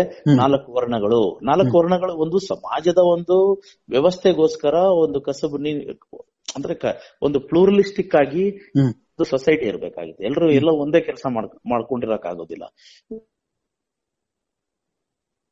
ಅನ್ಕೊಳ್ಳೋಣ ಆರೋಗ್ಯಕರವಾಗಿ. ನೀವು ಇದನ್ನ ನೀವು ಕೃಷಿ ಮಾಡಿ ನೀವು ಕಮ್ಮಾರಿಕೆ ಮಾಡಿ ನೀವು ಕುಂಬಾರಿಕೆ ಮಾಡಿ ನೀವು ಬಡಗಿ ಕೆಲಸ ಮಾಡಿ ಆ, ನೀವು ಏನು ಆ, ಪೂಜೆ ಪುನಸ್ಕಾರಗಳನ್ನು ಮಾಡಿ ನೀವು ರಾಜ್ಯವನ್ನ ಆಳಿ ನೀವು ನೀವು ವ್ಯಾಪಾರ ಮಾಡಿ ನೀವು ಸಮಾಜವನ್ನ ರಕ್ಷಿಸಿ ಅಂತ ಒಂದು ವಿಧ ವಿಧವಾಗಿಂತ ಒಂದು ಡಿವಿಷನ್ ಆಫ್ ಲೇಬರ್ ಮಾಡ್ಕೊಂಡಿರ್ತಾರೆ ಅಂತ ಅನ್ಕೊಳ್ಳಿ. ಆ ಡಿವಿಷನ್ ಆಫ್ ಲೇಬರ್ನ ಅವ್ರವ್ರು ಏನಂತ ನಾನು ಈ ಕೆಲಸ ಮಾಡ್ತೇನೆ ಈ ಕೆಲಸ ಮಾಡ್ತೇನೆ ಅಂತ ಯಾರಿಗೆ ಯಾವ್ದು ಇಂಟ್ರೆಸ್ಟ್ ಇರುತ್ತೋ ಅದನ್ನ ಆರಿಸ್ಕೊಂಡಿರ್ತಾರೆ. ಅದು ಒಂದು ವರ್ಣ ಅಂತಾನೆ ಅನ್ಕೊಳ್ಳೋಣ. ಈಗ ಫಾರ್ ಎಕ್ಸಾಂಪಲ್ ಇದು ಏನು ಬ್ರಾಹ್ಮಣ ಕ್ಷತ್ರಿಯ ವೈಶ್ಯ ಶೂದ್ರ ಅಂತ ಮಾಡ್ಕೊಂಡಿರ್ತಾರೆ. ಅದು ಒಂದು ವ್ಯವಸ್ಥೆ ಸಮಾಜ ಸಮಾಜ ಒಂದು ಇದು ಒಂದು ರೀತಿ ವ್ಯವಸ್ಥಿತವಾಗಿ ನಡೆಯೋದಕ್ಕೋಸ್ಕರ ಇರಬಹುದಾದಂತ ಒಂದು ಯಾಂತ್ರ ಒಂದು ಒಂದು ವ್ಯವಸ್ಥೆ ಒಂದು ಯಂತ್ರ ಸ್ಮೂತ್ ಆಗಿ ವರ್ಕ್ ಮಾಡೋದಕ್ಕೆ ಅಂತ. ಅದು ಮಾಡ್ಕೊಂಡಿರುವಾಗ ಅದನ್ನ ತಮ್ಮ ಒಂದು ಸ್ವಾರ್ಥಕ್ಕೆ ದುರುಪಯೋಗ ಪಡಿಸ್ಕೊಳ್ಳುವಂತಹ ಒಂದು ಪಟ್ಟಬದ್ಧ ಹಿತಾಸಕ್ತಿಗಳು ತಲೆ ಎತ್ತಿವೆ ಆಗ. ಅವ್ರೇನ್ ಮಾಡ್ತಾರೆ? ಈಗ ಈ ಬ್ರಾಹ್ಮಣ ಅನ್ನೋರು ಅದು ಅಂತಂದ್ರೆ ಅಲ್ಲಿ ಸ್ವಲ್ಪ ಮಟ್ಟಿಗೆ ನಿಮ್ಗೆ ಶ್ರಮ ಕಮ್ಮಿ. ಅಂದ್ರೆ ಆ, ಇದು ದೈಹಿಕ ಶ್ರಮ ಹೆಚ್ಚಿರೋದಿಲ್ಲ. ಶ್ರಮ ಸಂಸ್ಕೃತಿ ಗೊತ್ತಿಲ್ಲ ಅವ್ರಿಗೆ. ಅಲ್ಲೇನಾಗತ್ತೆ? ಈಗ ಈಗ ಕೃಷಿಕರ ಹಾಗೆ ಮೈ ಬಗ್ಗೆ ಕೆಲಸ ಹ್ಮ್ ಕ್ಷತ್ರಿಯರ ಹಾಗೆ ಒಂದು ಏನು ಶತ್ರುಗಳನ್ನ ಎದುರಿಸಿ ಪ್ರಾಣವನ್ನೇ ಪಣ ಇಟ್ಟು ಇದ್ ಮಾಡ್ಬೇಕಾಗಿಲ್ಲ. ಅದು ಸ್ವಲ್ಪ ಸುಲಭವಾದಂತ ಕೆಲಸ ಅಂತ ಆಯ್ತು. ಹಾಗಾದ್ರೆ ಆ ಕೆಲಸ ನಮಗ್ ಮಾತ್ರ ಇರ್ಲಿ ಅಂತ ಅನ್ಕೊಂಡು ಅದಕ್ಕೆ ರೂಲ್ಸ್ ಬರೆಯಕ್ ಶುರು ಮಾಡಿದ್ರು. ಇವರೇ ಶ್ರೇಷ್ಠ ಇವ್ರು ಇವ್ರು ಇವ್ರು ಬಿಟ್ರೆ ಇನ್ನಿಲ್ಲ. ಆಮೇಲೆ ಇವ್ರು ಮಾಡುವಂತ ಕೆಲಸ ಬಹಳ ಟಫ್ ಕೆಲಸ ಅನ್ನೋ ತರ ತೋರಿಸ್ಕೊಳಕ್ ಮಾಡಿದ್ರು. ಏನಂತಂದ್ರೆ ಈಗ ಏನು ವೈದಿಕ ಧರ್ಮದಲ್ಲಿ ಏನದು ಆಗಮ ಶಾಸ್ತ್ರ ಅಂತ. ಅಂದ್ರೆ ಪೂಜೆ, ಪುನಸ್ಕಾರಗಳು, ಯಜ್ಞಗಳು, ಹೋಮಗಳು ಹವಿಸನ ಕೊಡುವಂತದ್ದು ಇದೆಲ್ಲ ಮಾಡ್ಬೇಕು ಅಂತಂದ್ರೆ ಇದನ್ನ ಸಂಸ್ಕೃತ ಕಲಿಬೇಕು. ಸಂಸ್ಕೃತ ಅಷ್ಟು ಈಸಿ ಅಲ್ಲ, ಅದನ್ನ ಟಫ್ ಮಾಡಿ ಅದಕ್ಕೆ ವ್ಯಾಕರಣ, ಛಂದಸ್ಸು, ಅಲಂಕಾರ, ಆಮೇಲೆ ಶ್ಲೋಕಗಳು ಬರೆಯೋದು, ಆಮೇಲೆ ಮಂತ್ರಗಳನ್ನ ಹೇಳೋದು, ಅದಕ್ಕೆ ಏನು ಉಚ್ಚಾರಣೆ ಪ್ರೊನೌನ್ಸಿಯೇಷನ್ ಟಫ್ ಮಾಡೋದು, ಸಾಮಾನ್ಯ ಜನಕ್ಕೆ ನಿಲ್ಕದಂತ ನಿಲ್ಕದಂತದ್ದು ಇದು. ಅಂದ್ರೆ ಈಗ ನೀವು ಯುದ್ಧದಲ್ಲಿ ಯುದ್ಧದ ಕಣದಲ್ಲಿ ರಣರಂಗದಲ್ಲಿ ಹೋರಾಡೋದು ಎಷ್ಟು ಕಷ್ಟನೋ ನಿಮ್ಗೆ ದೇವಸ್ಥಾನದಲ್ಲಿ ಪೂಜೆ ಮಾಡೋದು ಕೂಡ ಅಷ್ಟೇ ಕಷ್ಟ. ತೋರ್ಸೋದಕ್ಕೆ ಪ್ರಯತ್ನ ಪಟ್ಟಂತ ಒಂದು ಹುನ್ನಾರ ಅದು. ಹಾಗಾಗಿ ಏನಾಗುತ್ತೆ ಆ ವಿದ್ಯೆಯನ್ನ ಬೇರೆಯವ್ರ ಕಲಿಯೋದಕ್ಕೆ ಬಿಡ್ಲಿಲ್ಲ. ಆಮೇಲೆ ಅದನ್ನ ಕಲ್ತವ್ರು ಶ್ರೇಷ್ಠರು ಎಷ್ಟ್ರ ಮಟ್ಟಿಗೆ ಶ್ರೇಷ್ಠರು ಅಂತ ಹೇಳ್ತಾ ಇದ್ದಾರೆ ಅಂದ್ರೆ ಭೂಸುರರು ಅಂತ ಅವರನ್ನ ಭೂಮಿಯ ದೇವತೆಗಳು ಅಂತ ತಮಗ್ ತಾವೇ ಅನ್ಕೊಂಡ್ರು ಆಮೇಲೆ ಅವರಿಗೆ ಇತರ ವರ್ಗದವರು ಎಲ್ರು ಅವರ ಸೇವೆ ಮಾಡೋದು ಅವರಿಗೆ ದಾನ ಮಾಡೋದೇ ಇವರ ಧರ್ಮ. ಅಂದ್ರೆ ನೀವೆಲ್ಲ ದುಡಿದು ನೀವು ಸಂಪಾದನೆ ಮಾಡಿದ್ದನ್ನ ಬ್ರಾಹ್ಮಣರಿಗೆ ಕೊಡ್ಬೇಕು. ಇದು ಬಹಳ ಅನುಕೂಲವಾದಂತ ವ್ಯಾಪಾರ ಆದಂಗೆ ಕಾಣಿಸ್ತು ಅಂತ ಕಾಣತ್ತೆ ಅವಾಗ. ಹ್ಮ್ ಅದಕ್ಕೆ ಏನ್ ಮಾಡಿದ್ರು? ಇದಕ್ಕೆ ಸ್ಮೃತಿಗಳನ್ನ ಬರೆಯಕ್ ಶುರು ಮಾಡಿದ್ರು. ಓ ಇದು ಹೀಗೆ ಬ್ರಹ್ಮನ ತಲೆನಿಂದ ಹುಟ್ಟದವ್ರು ಇವರು ಇವ್ರು ಹಾಗೆ ಹೀಗೆ ಅಂತಲ್ಲ. ಯಾರು ಎಲ್ಲಿಂದ ಹುಟ್ಟದು ಏನ್ ಮಾಡಿದ್ರು? ಸೊ ಹಾಗಾಗಿ ಏನಾಯ್ತು? ಇದು ಬರ್ತಾ ಬರ್ತಾ ಅದು ಟಫ್ ಮಾಡೋಕೋಸ್ಕರ ಏನ್ ಮಾಡಿದ್ರು? ಇಲ್ಲಿರೋರು ಇವರು ನೆರಳನ್ನು ಕೂಡ ಅಂದ್ರೆ ಆ, ಇದು ಹ್ಮ್ ಇನ್ನು ಪಂಚಮರು ಅಂತ ಇರ್ತಾರೆ. ಅಂದ್ರೆ ಇವಾಗ ಬ್ರಾಹ್ಮಣ ಆಯ್ತು ಕ್ಷತ್ರಿಯ ಆಯ್ತು ವೈಶ್ಯ ಆಯ್ತು ಶೂದ್ರ ಆಯ್ತು. ಈ ನಾಲ್ಕು ವರ್ಣದಲ್ಲದೆ ಇರುವಂತ ಪಂಚಮರು ಯಾರು? ಅವರು ಏನಂದ್ರೆ ದಲಿತರು. ಅವರು ಸ್ಕ್ಯಾವೆಂಜಿಂಗ್ ಕೆಲಸ ಮಾಡುವಂತವ್ರು. ಅವರು ಅವ್ರನ್ನ ಮುಟ್ಟಬಾರದು ನಾವು. ಅಷ್ಟೇ ಅಲ್ಲ ಅವ್ರು ಏನಂತಂದ್ರೆ ನಾವು ಇದು ಬ್ರಾಹ್ಮಣರ ಎದುರುಗಡೆ ಬಂದಾಗ ಅವರು ಕಾಣಿಸ್ಲೂಬಾರ್ದು. ಅನ್ನುವಂಥದ್ದು. ಆಮೇಲೆ ಅವರ ಇದನ್ನ ಏನಂತಂದ್ರೆ ಅವ್ರ ಕುತ್ತಿಗೆಗೆ ಒಂದು ಬಟ್ಲು ಇಟ್ಕೊಂಡು ಓಡಾಡ್ಬೇಕಾಗಿತ್ತು ಅವ್ರು. ಯಾಕಂದ್ರೆ ಎಲ್ಲೂ ಉಗಿಯೋಂಗಿಲ್ಲ ಅವರು. ಸೊ ಈ ತರದೆಲ್ಲ ಮಾಡಿ ಇದೇನಂದ್ರೆ ಅದು ಬರ್ತಾ ಬರ್ತಾ ಇದೆ ಅದನ್ನ ಯಾರು ಮಾಡಿದ್ರು? ಸನಾತನ ಧರ್ಮದಲ್ಲಿ ಇದೆಯಾ? ಉಪನಿಷತ್ತಿನಲ್ಲಿ ಬರ್ದಿದ್ಯಾ? ಅಂತ ಇಲ್ಲ ಅದು. ಈ ಮಧ್ಯದಲ್ಲಿ ಬಂದಂತವ್ರು ಅದ್ರ ಜೊತೆಗೆ ಏನ್ ಮಾಡ್ತಾರೆ ಅಂತಂದ್ರೆ ಈಗ ಒಂದು ಬರೀ ವರ್ಗಗಳನ್ನ ವಂಚಿತರನ್ನಾಗಿ ಮಾಡಿದ್ದಷ್ಟೇ ಅಲ್ಲ. ವರ್ಗದ ಒಳಗಡೆ ಪುರುಷರು ಹೆಚ್ಚು ಸ್ತ್ರೀಯರು ಕಡಿಮೆ ಅನ್ನೋ ತರ. ಇದೇ ಮನುಸ್ಮೃತಿನಲ್ಲಿ ಏನೋ ಏನು ನ ಸ್ತ್ರೀ ಸ್ವಾತಂತ್ರ್ಯ ಅರ್ಹತೆ ಅಂದ್ರೆ ಈಗ ಹೇಳ್ಬೋದು ಎತ್ರ ನಾರ್ಯಸ್ತು ಪೂಜ್ಯಂತೆ ರಮಂತೆ ತತ್ರ ದೇವತಃ ಅಂತ ಕೂಡ ಬರೆದಿದೆ ಅಂತ. ಆದ್ರೆ ಅಲ್ಲಿ ಏನಂತಂದ್ರೆ ಪುರುಷರು ಅದು ಡಾಮಿನೇಟ್ ಆಗ್ಬೇಕಾಗಿದ್ರೆ ಮಹಿಳೆಯರಿಗೆ ಅವಕಾಶ ಕೊಟ್ಬಿಟ್ರೆ ಎಲ್ಲಿ ಅವರು ಚೆನ್ನಾಗ್ ಆಗ್ಬಿಡ್ತಾರೋ ಅನ್ನುವಂತ ಒಂದು ಇದರಲ್ಲಿ ಅವರನ್ನ ಆಮೇಲೆ ಇದು ಅವರು ಎಷ್ಟರ ಮಟ್ಟಿಗೆ ಅಂತಂದ್ರೆ ಒಬ್ಬ ಮಹಿಳೆ ಅದು ಒಬ್ಬ ಪುರುಷನಿಗೆ ಮಾತ್ರ ಮೀಸಲಾಗಿರ್ಬೇಕು ಅಂತ ಹೇಳ್ತಾ ಅವಾಗ ಇದು ಬಾಲ್ಯ ವಿವಾಹ ಮಾಡ್ತಾ ಇದ್ರಲ್ಲ ಆಗ ಇದು ಅವ್ರ ಗಂಡ ಏನಾದ್ರು ಸತ್ತೋಗ್ಬಿಟ್ರೆ ಅವಳು ಸತಿ ಸಹಗಮನ ಮಾಡೋ ಗಂಡನ ಜೊತೆ ಸಾಯ್ಬೇಕು ಅನ್ನೋದಿತ್ತು. ಆಮೇಲೆ ಒಂದ್ಸತಿ ಏನೋ ಬಾಲ್ಯ ವಿವಾಹ ಮಾಡ್ಕೊಂಡಾಗ ಅವ್ನಿಗೆ ಆಗಿನ ಕಾಲದಲ್ಲಿ ಆರೋಗ್ಯದ ಪರಿಸ್ಥಿತಿ ಇಷ್ಟೊಂದಿಲ್ಲ ಮೆಡಿಸಿನ್ ಇಷ್ಟು ಚೆನ್ನಾಗಿ ಬೆಳೆದಿಲ್ಲ ಹಾಗಾಗಿ ಜನ ಬೇಗ ಬೇಗ ಸತ್ತೋಗ್ಬಿಡ್ತಾ ಇದ್ರು. ಅಂದ್ರೆ ಲೈಫ್ ಎಕ್ಸ್ಪೆಕ್ಟೆನ್ಸಿ ಕಮ್ಮಿ ಇತ್ತು. ಹಾಗಿರುವಾಗ ಇನ್ನೂ ಪಾಪ ಇದು ಯುವತಿಯಾಗಿರುವಂತ ಇನ್ನೂ ಇದು ಬಾಲ್ಯಾವಸ್ಥೆಯಿಂದ ಯವನಾವಸ್ಥೆಗೆ ಬರೋಷ್ಟರಲ್ಲಿ ವೈಧವ್ಯ ಪ್ರಾ- ಪ್ರಾಪ್ತಿ ಆಗ್ತಾ ಇತ್ತು. ಅವಾಗ ಅವಳನ್ನ ಏನಂತಾರೆ ಇನ್ನೊಂದು ಮದುವೆ ಆಗೋಂಗಿಲ್ಲ. ತಲೆ ಬೋಳಿಸೋದು. ಘಟಶ್ರಾದ್ದ ಮಾಡೋದು. ಇಂತೆಲ್ಲ ಅನಿಷ್ಟ ಪದ್ಧತಿಗಳು ಅಂದ್ರೆ ಅವ್ರಿಗೆ ಸ್ಕೂಲ್ ಕಳಿಸೋದಿಲ್ಲ. ಹಿಂಗಿರುವಾಗ ಏನಾಯ್ತು ಇದೋ ಇದೆಲ್ಲ ಸರಿಯಲ್ಲ ವಿವೇಕಾನಂದರು ಒಂದ್ ಕಡೆ ಹೇಳ್ತಾರೆ. ಏನ್ ಹೇಳ್ತಾರೆ ಅಂತಂದ್ರೆ ಇದು ಸಮಾಜ ಒಂದು ಪಕ್ಷಿ ಇದ್ದಂಗೆ ಪಕ್ಷಿಗೆ ಎರಡು ರೆಕ್ಕೆ, ಯಾವುದು ಒಂದು ಗಂಡು ಒಂದು ರೆಕ್ಕೆ, ಹೆಣ್ಣು ಒಂದು ರೆಕ್ಕೆ. ನೀವು ಒಂದು ರೆಕ್ಕೆಯನ್ನ ಕತ್ತರಿಸ್ಬಿಟ್ಟಿದ್ರೆ ಅದು ಹಿಂಗ್ ಹಾರಕ್ ಸಾಧ್ಯ? ಹಾಗಾಗಿ ಮಹಿಳೆಯರಿಗೆ ಸಮಾನವಾದ ಅವಕಾಶ ಕೊಡಿ, ಶಿಕ್ಷಣ ಕೊಡಿ ಅಂತ ಹೇಳ್ತಾರೆ ಅಂದ್ರೆ ಈಗ ಅವರೆಲ್ಲ ಏನ್ ರಾಜಾರಾಮ್ ಮೋಹನ್ ರಾಯ್ ಅಂತವರೆಲ್ಲ ಏನ್ ಮಾಡ್ತಾರೆ? ಇದನ್ನೆಲ್ಲ ಏನಂದ್ರೆ ಇದು ಈ ಏನು ಬಾಲ್ಯ ವಿವಾಹ, ಮತ್ತೆ ಸತಿ ಸಹಗಮನ ಇಂಥವೆಲ್ಲ ಒಂದೊಂದಾಗಿ ತೆಗಿತಾ ಬರ್ತಾರೆ. ಕೊನೆಗೆ ನಮ್ಗೆ ಒಂದು ಹಂತ ಯಾವಾಗ ಬರುತ್ತೆ ಅಂದ್ರೆ ಸ್ವಾತಂತ್ರ್ಯ ಬಂದಾಗ, ನಾವೇ ಗಣರಾಜ್ಯವನ್ನ ಮಾಡ್ಕೊಂಡಾಗ, ಇದೆಲ್ಲವನ್ನ ನಾವೇ, ನಾವು ರೂಲ್ಸ್ ಮಾಡ್ಕೊಳ್ತೀವಿ. ಯಾಕಂದ್ರೆ ಮನುಷ್ಯ ಮನುಷ್ಯನ ತರ ಇರಬೇಕು ಅನ್ನೋ ಕಾರಣಕ್ಕೆ ಏನಾಗುತ್ತೆ, ದಲಿತರು ಇವರು ಅವಕಾಶ ವಂಚಿತರಾಗಿದ್ದಾರೆ, ಅವ್ರಿಗೆ ಮೀಸಲಾತಿ ಕೊಡಬೇಕು ಅನ್ನೋದ್ರಿಂದ ಹಿಡ್ಕೊಂಡು, ಅಂದ್ರೆ ಎಲ್ಲವೂ ಇವ, ಇವತ್ತಿಗೆ ಪರ್ಫೆಕ್ಟ್ ಅಲ್ಲ. ಆದ್ರೆ ಒಂದೊಂದೇ ಸ್ಟೆಪ್ ಒಂದೊಂದೇ ಸ್ಟೆಪ್ ಅನ್ನ ಚೇಂಜ್ ಮಾಡ್ಕೊಂಡು ಒಂದು ಕನ್ಸ್ಟ್ರಕ್ಟಿವ್ ಆಗಿ ಮಾಡೋದು ಇಷ್ಟು ದೂರ ಬರೋದಕ್ಕೆ ಸಾಧ್ಯ ಆಗಿದೆ. ಈಗಲೂ ಕೂಡ ನಾವೇನ್ ಮಾಡಬಹುದು ಇನ್ನು ದೋಷಗಳು ಸಾಕಷ್ಟಿವೆ. ಆ ದೋಷಗಳನ್ನ ನಿವಾರಣೆ ಮಾಡೋದಕ್ಕೆ ಅದು ಸರಿಪಡಿಸ್ಕೊಳ್ಳೋದಕ್ಕೆ ನಮ್ಗೆ ಅಧಿಕಾರ ಇದೆ. ನಮ್ಗೆ ಸರ್ಕಾರ ನಮ್ಗೆ ನಡೆಸುವಂತ ಒಂದು ಇದು. ಅದನ್ನ ಚೇಂಜ್ ಮಾಡ್ಬೇಕು ಹೊರತು ಇವಾಗ ನಾವು ಇಲ್ಲ ಇದು ಸನಾತನ ಧರ್ಮವನ್ನ ಎರಡಿಕೇಟ್ ಮಾಡ್ಬಿಡ್ತೀನಿ ಅಂತಂದ್ರೆ ಯಾವ್ದು ಎರಡಿಕೇಟ್ ಮಾಡೋದು? ಯಾವ ವ್ಯವಸ್ಥೆ? ಇವಾಗ ಫಾರ್ ಎಕ್ಸಾಂಪಲ್ ಈ ದೇಶದಲ್ಲಿ ಎಷ್ಟೋ ಅನ್ಯಾಯಗಳು ನಡೀತಾ ಇದೆ. ಹಾಗಾದ್ರೆ ದೇಶನೇ ಇಲ್ದಂಗ್ ಮಾಡ್ಬಿಡ್ತೀರಾ? ಹ್ಮ್. ಈಗ ಭಾರತ ದೇಶದಲ್ಲಿ ಎಲ್ಲವೂ ಸರಿಯಾಗಿದೆಯಾ? ನೂರ ನಲವತ್ತು ಕೋಟಿ ಜನ ಇದ್ದಾರೆ. ನೂರ ನಲವತ್ತು ಕೋಟಿ ಜನಕ್ಕೂ ಎಲ್ಲವೂ ಚೆನ್ನಾಗಿದೆ ಎಲ್ಲವೂ ಸಮಾನವಾದ ಅವಕಾಶ ಸಿಕ್ಬಿಟ್ಟಿದ್ಯಾ? ಇಲ್ಲಿ ಭ್ರಷ್ಟಾಚಾರ ಇಲ್ವಾ? ಇಲ್ಲಿ ಅನ್ಯಾಯ ಇಲ್ವಾ? ಹಾಗಾದ್ರೆ ಈ ದೇಶ ಚೆನ್ನಾಗಿಲ್ಲ ದೇಶನೇ ಇಲ್ಲ ಅಂತ ಮಾಡ್ಬಿಡ್ತೀರಾ? ಅಥವಾ ದೇಶವನ್ನು ಸರಿಪಡಿಸ್ತೀರಾ? ಇದು ಇಲ್ಲಿ ಅಂದ್ರೆ ಈಗ ಪೆರಿಯಾರ್ ರಾಮಸ್ವಾಮಿ ನಾಯಕರ ಬಗ್ಗೆ ತಾವು ಹೇಳಿದ್ರೆ. ಆದ್ರೆ ಪೆರಿಯಾರ್ ರಾಮಸ್ವಾಮಿ ನಾಯಕರು ಹೇಳಿ ಅದು ಮಾಡುವಾಗ ಆ ವ್ಯಕ್ತಿಗೆ ತಾನೇ ಒಂದು ಕಾನೂನನ್ನ ಮಾಡುವಂತ ಒಂದು ಅಧಿಕಾರ ಇನ್ನೂ ಬಂದಿರ್ಲಿಲ್ವಲ್ಲ? ಈಗ ನೀವು ಅವರ ಒಂದು ಪರಿಶ್ರಮದಿಂದ ಅವರ ಒಂದು ಕಷ್ಟದಿಂದ ನಿಮ್ಗೆ ಡಿ ಎಂ ಕೆ ಇವತ್ತು ಅಧಿಕಾರಕ್ಕೆ ಬರೋಂಗಾಗಿದೆ ಆ ಅಧಿಕಾರವನ್ನು ಉಪಯೋಗಿಸ್ಕೊಂಡು ನೀವು ಹೆಂಗೆ ಎಷ್ಟು ಕನ್ಸ್ಟ್ರಕ್ಟಿವ್ ಆಗಿ ಚೇಂಜ್ ಮಾಡೋದಕ್ಕೆ ಮಾರ್ಪಾಟುಗಳನ್ನು ತರೋದಕ್ಕೆ ಸಾಧ್ಯ ಆಗುತ್ತೋ ಅಷ್ಟು ತರಬಹುದಲ್ವೇ ಅದು ಬಿಟ್ಬಿಟ್ಟು ಯಾವ್ದೋ ಒಂದು ಇವಾಗ ಎಲೆಕ್ಷನ್ ಗಿಮಿಕ್ಗೋಸ್ಕರನೋ ಅಥವಾ ಯಾರನ್ನೋ ಮೆಚ್ಚಿಸೋಕೋಸ್ಕರನೋ ಯಾರನ್ನೋ ಪ್ರೊವೋಕ್ ಮಾಡೋಕ್ಕೋಸ್ಕರನೋ ಮಾತಾಡುವಂತ ಒಂದು ಮಾತಿಂದ ಏನ್ ಅರ್ಥ ಇದೆ? ಅದೇ ತರಹ ಇವರು ಅಷ್ಟೇನೆ ಯಾರಂದ್ರೆ ಇವರು ಏನು ಸೋ ಕಾಲ್ಡ್ ಹಿಂದುತ್ವವಾದಿಗಳಿದಾರಲ್ಲ ಅವರು ಧರ್ಮ ರಕ್ಷಣೆ ನಾವು ಹಿಂದೂ ಧರ್ಮವನ್ನ ರಕ್ಷಣೆ ಮಾಡ್ತೀವಿ ಅಂತ ಬರ್ತಾ ಇದ್ದಾರಲ್ಲ ಬಂದಿದಾರಲ್ಲ ಆ ಅವ್ರಿಗೆ ಧರ್ಮದ ಬಗ್ಗೆ ಏನ್ ಗೊತ್ತಿದೆ? ಎಷ್ಟು ನಿಯತ್ತಿದೆ ಅವರಿಗೆ? ಎಷ್ಟು ನಿಷ್ಠೆ ಇದೆ? ದೇಶಭಕ್ತಿ ಅಂತ ಹೇಳ್ತಾರೆ ಏನಂದ್ರೆ ಓ ಬಾಲ ಬೋಲೋ ಭಾರತ್ ಮಾತಾಕಿ ಜಯ ಅಂತ. ಎಷ್ಟೋ ಜನಕ್ಕೆ ಇದಕ್ಕೆ ಸರಿಯಾಗಿ ಏನು ಒಂದೇ ಮಾತರಂ ಹಾಡಕ್ ಬರೋದಿಲ್ಲ. ಅಂದ್ರೆ ಹಾಡಕ್ ಬಂದಿದ ತಕ್ಷಣ ಎಲ್ಲವೂ ಬಂದ್ಬಿಡ್ತು ಅಂತಲ್ಲ. ಹಾಡಕ್ ಬರ್ಬೇಕು ಅಂತ ನಾನು ಹೇಳ್ತಾ ಇಲ್ಲ. ಆದ್ರೆ ಅಲ್ಲಿ ಏನ್ ತೋರಿಸುತ್ತೆ ಅಂತಂದ್ರೆ ಅವ್ರ ನಿಯತ್ತನ್ನ ತೋರಿಸುತ್ತೆ. ಅವ್ರ ನಿಷ್ಠೆಯನ್ನ ತೋರಿಸುತ್ತೆ. ಅವರ ಇಂಗಿತವನ್ನ ತೋರಿಸುತ್ತೆ. ಅವ್ರಿಗೆ ಬೇಕಾಗಿರೋದು ಅಧಿಕಾರ. ಈಗ ಒಂದು ಹಿಂದುತ್ವ ಅಥವಾ ಒಂದು ರಾಷ್ಟ್ರೀಯತೆ ಈಸಿಯಾಗಿ ಸೆಲ್ ಆಗುತ್ತೆ. ಜನ ಒಂದು ಧರ್ಮ ಒಂದು ಅಫೀಮು. ಆ ಅಫೀಮನ್ನ ಕುಡಿಸ್ಬಿಡೋಣ ಜನಗಳಿಗೆ. ಆ ಅಫೀಮ್ ಆ ಉನ್ಮಾದ ಆ ಮತ್ತು ಏರಿದ ಮೇಲೆ ಅವರ ಒಂದು ವೀಕ್ನೆಸ್ ಅನ್ನ ತಗೊಂಡು ಅವರ ಮತಗಳನ್ನ ಸಂಪಾದನೆ ಮಾಡಿ ಅಧಿಕಾರ ಮಾಡೋಣ. ಆ ದುಡ್ಡನ್ನ ಲೂಟಿ ಹೊಡಿಯೋಣ? ಅನ್ನುವಂತ ಒಂದು ಹೊಂಜ ಇದು ಸಂಚ್ ಅಷ್ಟೇ ಅಲ್ವೇ? ಇನ್ನೇನಿದೆ ಹೇಳಿ ನೋಡೋಣ. ಈಗ ಧರ್ಮ ಹೇಗೆ ಒಂದು ಅಫೀಮೋ ಹ್ಮ್ ಈ ಒಂದು ಇದನ್ನು ಈ ಧರ್ಮದ ವಿರುದ್ಧ ಅಂತಂದ್ರೆ ಇದು ಧಾರ್ಮಿಕತೆ ಇದು ನೋಡಿ ಇದು ಇದು ಕರ್ಮಠವಾದಂತ ಒಂದು ಪದ್ಧತಿ. ಇದರ ವಿರುದ್ಧ ಏನಂತಂದ್ರೆ ನಾವು ಜಾತ್ಯತೀತತೆಯನ್ನ ತರಬೇಕು ಉದಾರವಾದವನ್ನ ತರಬೇಕು ಅಂದ್ರೆ ಲಿಬರಲ್ ಆಗಿರ್ಬೇಕು ಅನ್ನುವಂತ ಒಂದು ಏನು ಐಡಿಯಾಲಜಿಯನ್ನ ಡಾಗ್ಮಾ ತರ್ತಾರಲ್ಲ ಅದು ಕೂಡ ಒಂದು ಅಭಿಮೆ. ಯಾವಾಗ ಎರಡು ಎಕ್ಸ್ಟ್ರೀಮ್ ಆಗುತ್ತೋ. ನಿಮ್ಗೆ ನೀವು ಲಿಬರಲ್ ಅಂದಾಗ ನೀವು in a true sense you should be liberal. Liberal. ಅಂದ್ರೆ ನೀವು ಅದನ್ನ ಯಾವ್ದಿದೆಯೋ ಅದನ್ನ ಸಹಿಸುವಂತದ್ದು ಇರ್ಬೇಕಲ್ಲ. ನಿಮ್ಗೆ ಟಾಲರೆನ್ಸ್ ಇರ್ಬೇಕಲ್ಲ.